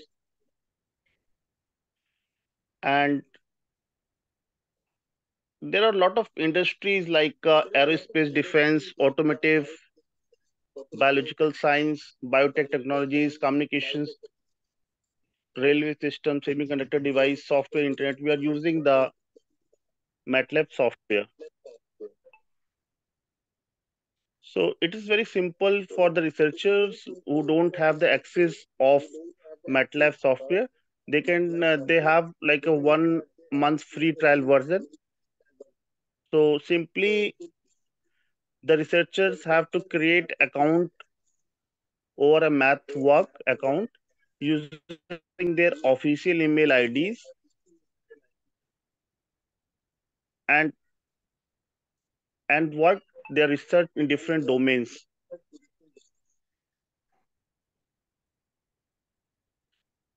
So using the browser, researcher can do their simulation work. They can build their uh, modules and their models and drive their results and prepare their research work and publish in the renowned journals. So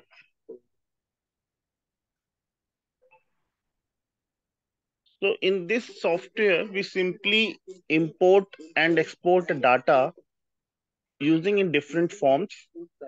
One, one way we can export the Excel spreadsheets and we can, and another way we can directly export the images or data from the websites.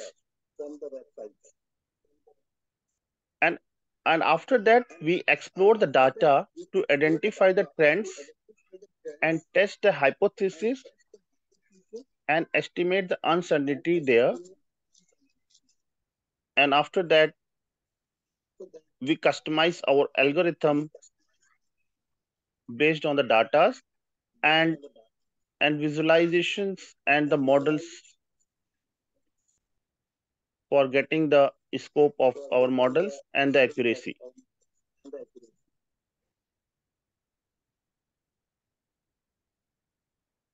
So in this, we have some standard formats to export the data.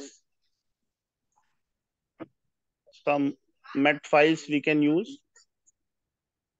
And some others like we can export directly the audio files, video files, XML files for for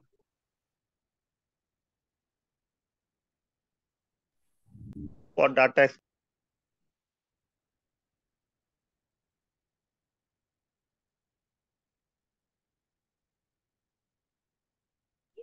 and we can also use some commands in MATLAB to explore, export the data directly from the website we use some standard commands like web read, web write, web save options to just export the data directly from the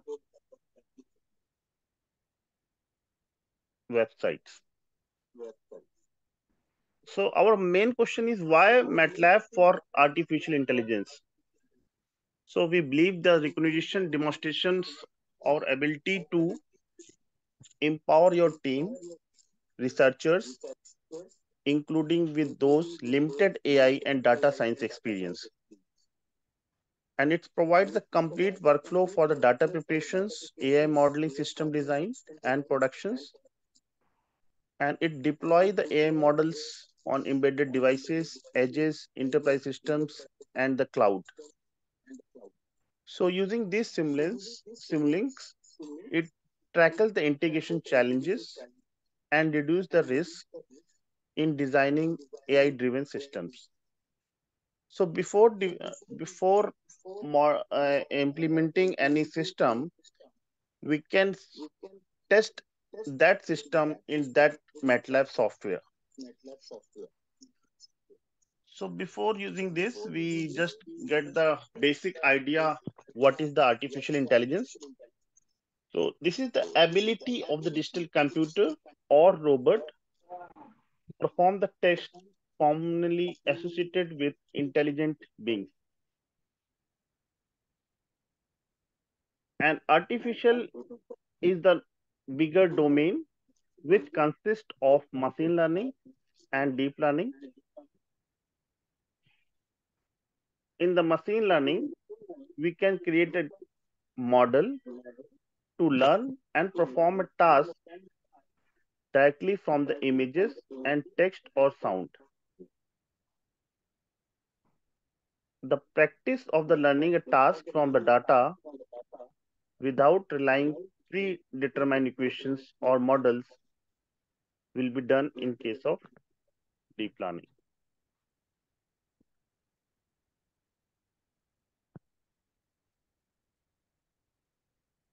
So in this direction, we can use or analyze larger data set. The data set may be a kind of images, it is kind of Excel or anything we can visualize very easily in the MATLAB software. So, so we in the traditional approach of machine learning, we just design write traditional equations and based on that we program our computer. But in the case of machine learning, we teach the learning according to the intelligence and we get the output there. So there are lot of activities where we use machine learning models like human activity detections, human emotional acquisitions, and a lot of things we can do using this MATLAB software.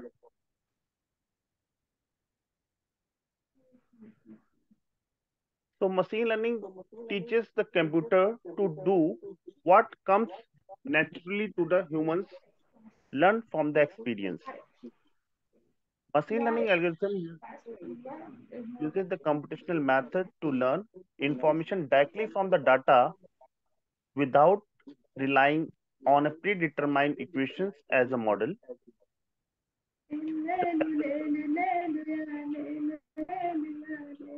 The algorithm is adaptively improve their performance as the number of samples available for learning is increasing.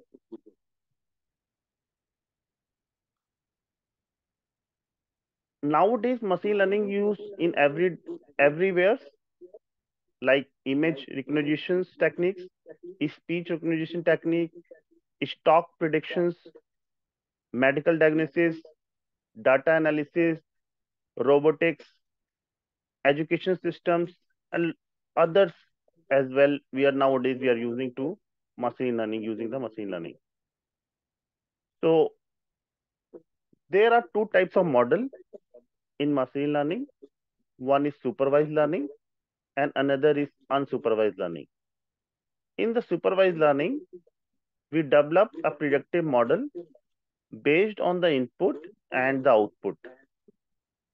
And in the case of unsupervised learning, it group and interpret the data based only on the input data. And in this unsupervised learning, we use the technique that is clustering for the classification of the data. And in the case of supervised learning, we use two techniques. One is the classification and another is regression technique.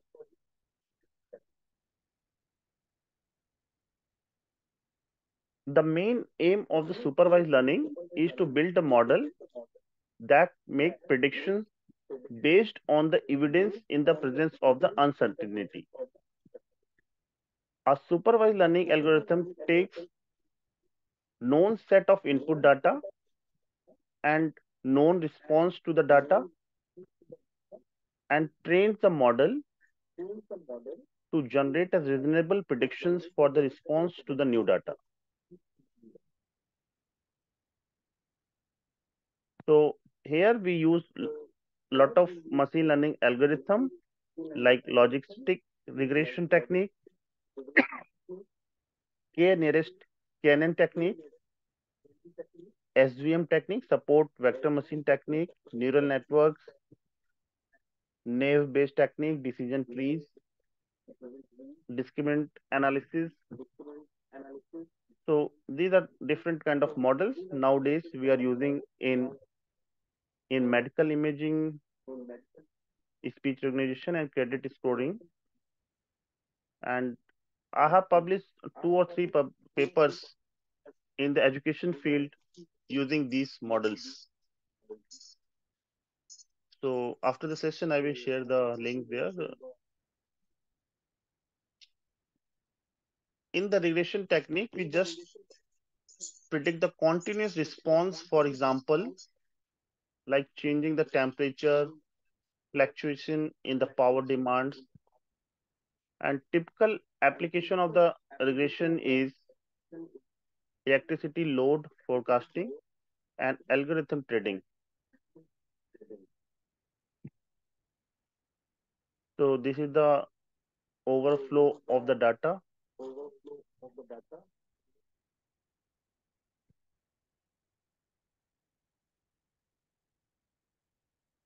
So we have a machine learning model and we provide the data.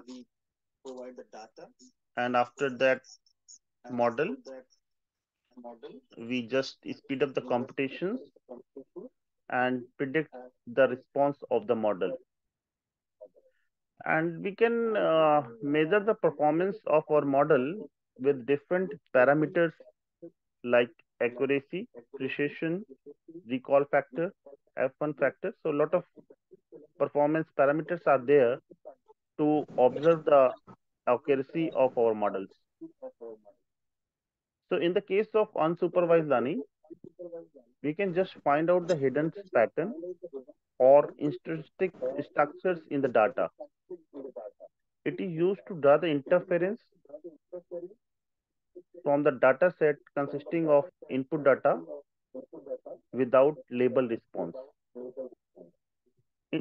In, this unsupervised learning, as we already discussed, we use the clustering.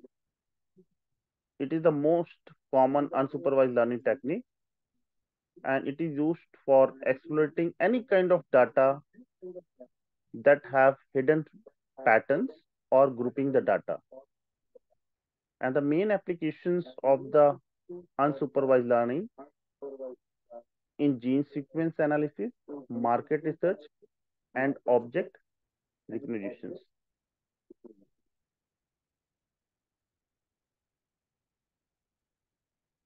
So this is the uh, different uh, what the technique we have with supervised and unsupervised. So how to select the correct model? We use some parameters. We check the speed of the training, how what is speed of the model. We can grab the data and the memory usage and their accuracy and interpretability. So these four parameters we are considering while selecting the correct model in the research.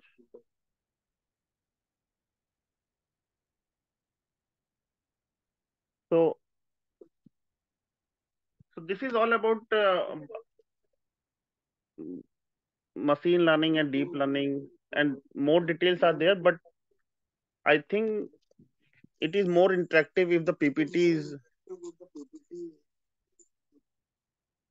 is visible to the participants. So, so I'm just concluding the session here from my side. Thank you. Thank you. Thank you, Thank you Dr. Vijay.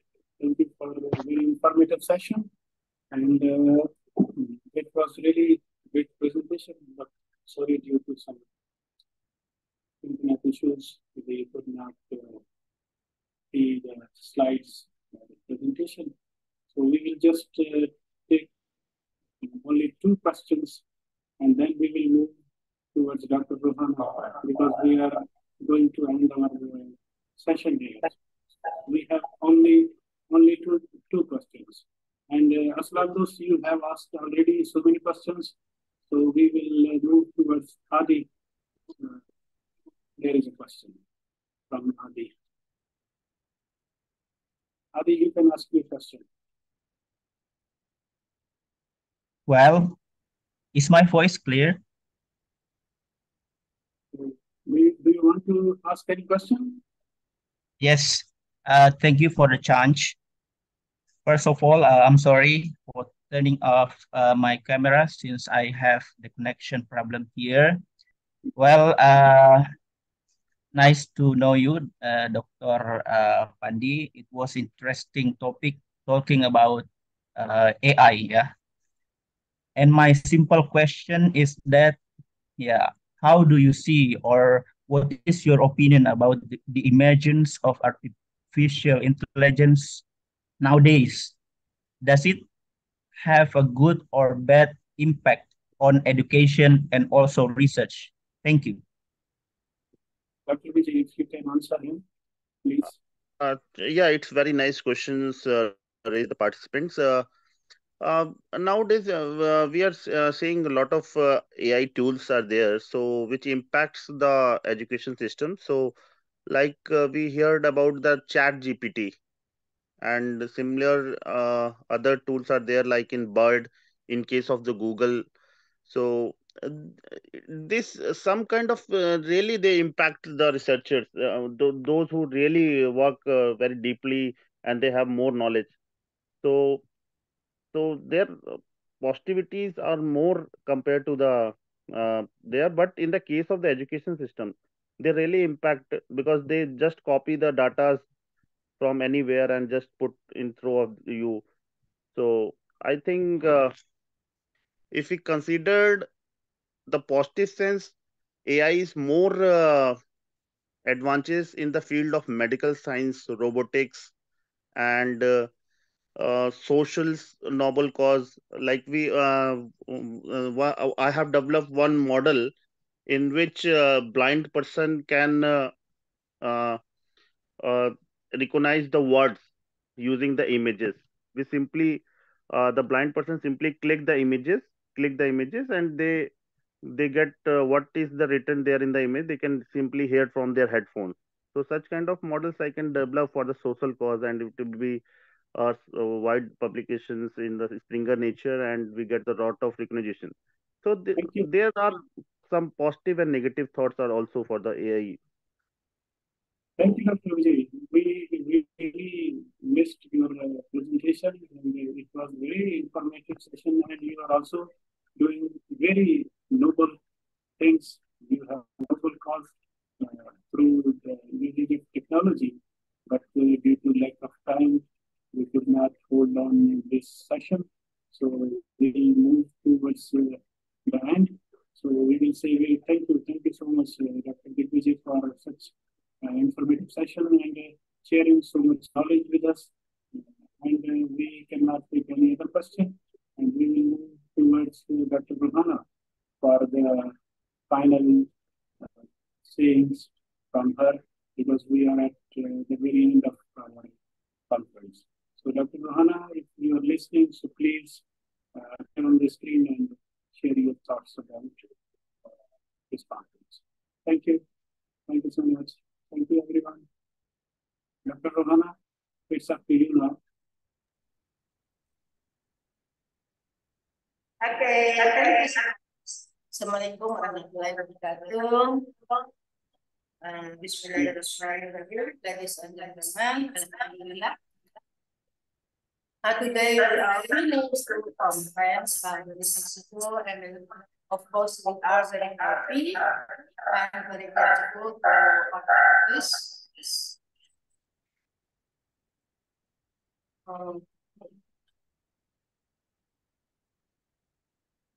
and we have uh, carried out the international conference activities as a basic especially to all the commuters uh, who has worked hard uh, today to, and preparing to carry out the activities.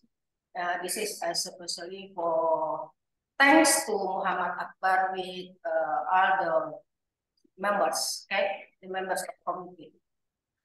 And uh, thanks so much uh, to the souls, uh, person who are the great, very expert uh, in the field. Um, the Honorable Prof. Amir Abu, SPD MPD, PhD, and the Honorable Dr. Krishnan Umachandran, and the Honorable or Dr. Singh, uh, and, and Honorable Dr. Sunil Namansar. Uh, all of them, they are great experts in the field. Uh, thank you so much, uh, the presenters, uh, very great and deliver uh, and present the article with the, the uh, and discuss with other very cooperative and interactive, so whereas the audience uh, who very enthusiastic about the uh, providing question, so that create the academic atmosphere and the scientific uh, knowledge, uh, which is the very uh, add our knowledge and the moment it is very valuable for us. Um, I'm very happy with this atmosphere and thank the internet motivation and enthusiasm that we set uh, and culture educator we went uh, the opportunity to hold the second international conference as soon as um, as possible. It will open the more room for the presenter uh, than now. Uh, to provide uh, some uh, opportunity to research and students who want to share the knowledge. And then uh, I would like to ask everyone to present here now. And what month do you want to use the whole the next international conference? Okay, it is the challenge of you uh, to answer now. Okay, uh, do you do you have your article to ready to present and publish uh, free in a international journal. Uh, this is my international journal, the International Transformation Knowledge and uh, International Age to give uh, knowledge. Uh, and then I hope all of you answer now directly and write the answer uh, in the chat room. Uh, now give your answer. Uh, we plan hold another international conference uh, uh, as soon as uh, as possible according to many uh, requests from the participant. And then this accusation, I give the accusation and respect to the uh, all uh, thanks uh, to the all participants and the attendees who have uh, participated during two days uh, following to the second international complex education language, uh, linguistics, social science, and humanism, culture, and uh, science uh, activities. I hope this conference will provide uh, the benefit or the advantages uh, for uh, everyone. And all attendants will be given certificate and that's whole submit uh, article will be uh, published and the presenter, presenter will be given certificate as a presenter and the article will be published and thanks for your cooperation. And finally, I apologize if there are errors uh, and so coming in the activities, the international conference, uh, we are the uh, Technological uh, Transformation Education Foundation. We have prepared criticism and suggestion service from the various parties and determine uh, construct criticism so that the technological transformation foundation advantages uh, for the nation, but uh, what of the nationally and uh, international. Okay, uh, we close the activity. Um, uh, the second uh, international conference with great joy and Alhamdulillah, hopefully we can meet again soon to the next conference. now we closing together. Uh, we say together, Alhamdulillah, Rabbil Alamin. Wabillahi taufiq wa hidayah. Wassalamualaikum warahmatullahi wabarakatuh. Thank you so much for all. Thank you. Thank you, Professor Mahmoud, for such a wonderful Now we try to take a picture together, open our camera, and then we uh, take a picture. Yes, Professor Rohana. May I thank you also? Thank you. Salam alaikum. Open camera. Yes, One, sir. two, Three. three. Okay. Uh, once again. One, Two, two, three. three. Okay. Thank you. Salam alaikum. Thank you. Okay. Thank you. Thank you so much. Thank you, Thank you so much. I hope Thank we you. Thank uh, you. Thank you. Thank you, Lula, for uh, support Bye bye. and for conducting Have this nice Bye bye. beautiful conference. day. Bye Thank you. Thank you so much. Warahmatullahi Also from wabarakatuh. here, I would like to say I think to that we need to Thank announce so the the winner of the door prize first. Yeah, let me announce the uh, the winner. Uh, first we have the Francinaga. The second one is uh, Ibu Megawati. The third one is uh, Mr. Tahir Nawaz, and the fourth one is Arslan. Uh, for all the names that I have mentioned, please reach our committee on the WhatsApp group that you can uh, um, minimize the price you can have from them, right? Okay, uh, now let me close officially because I am the master of ceremony. Please give me a time to close this. All right. Now, um, ladies and gentlemen, uh, thank you so much for your attention and thank you so much for your participation for this um, conference. And um, we finally uh, come to the end of this agenda. Um, thank you so much for Dr. Krishnan Umachandran. Thank you so much for uh, Professor Dr. Rohana as a speakers for, uh, for today. And thank you uh, for uh, Yasir Ali, PhD, as our moder moderator, and all the speakers for today's. And of course, thank you so much for all the participants who attend this um, our conference. Uh, so that's that's uh, that's our that's all our agendas for today now um, I hope that we all have um, had conducted will be useful for all uh, the better world that we put this theme today. Thank you so much for attention. Uh, see you uh, on the next uh, occasion. Wassalamualaikum warahmatullahi wabarakatuh. Thank you very much. Thank you so much. Thank much. you very much. Yeah. Bye. Bye. Bye. Bye. See you. Best, best wishes for everyone. Thank you. Thank you so much. Thank you. Thank you. Thank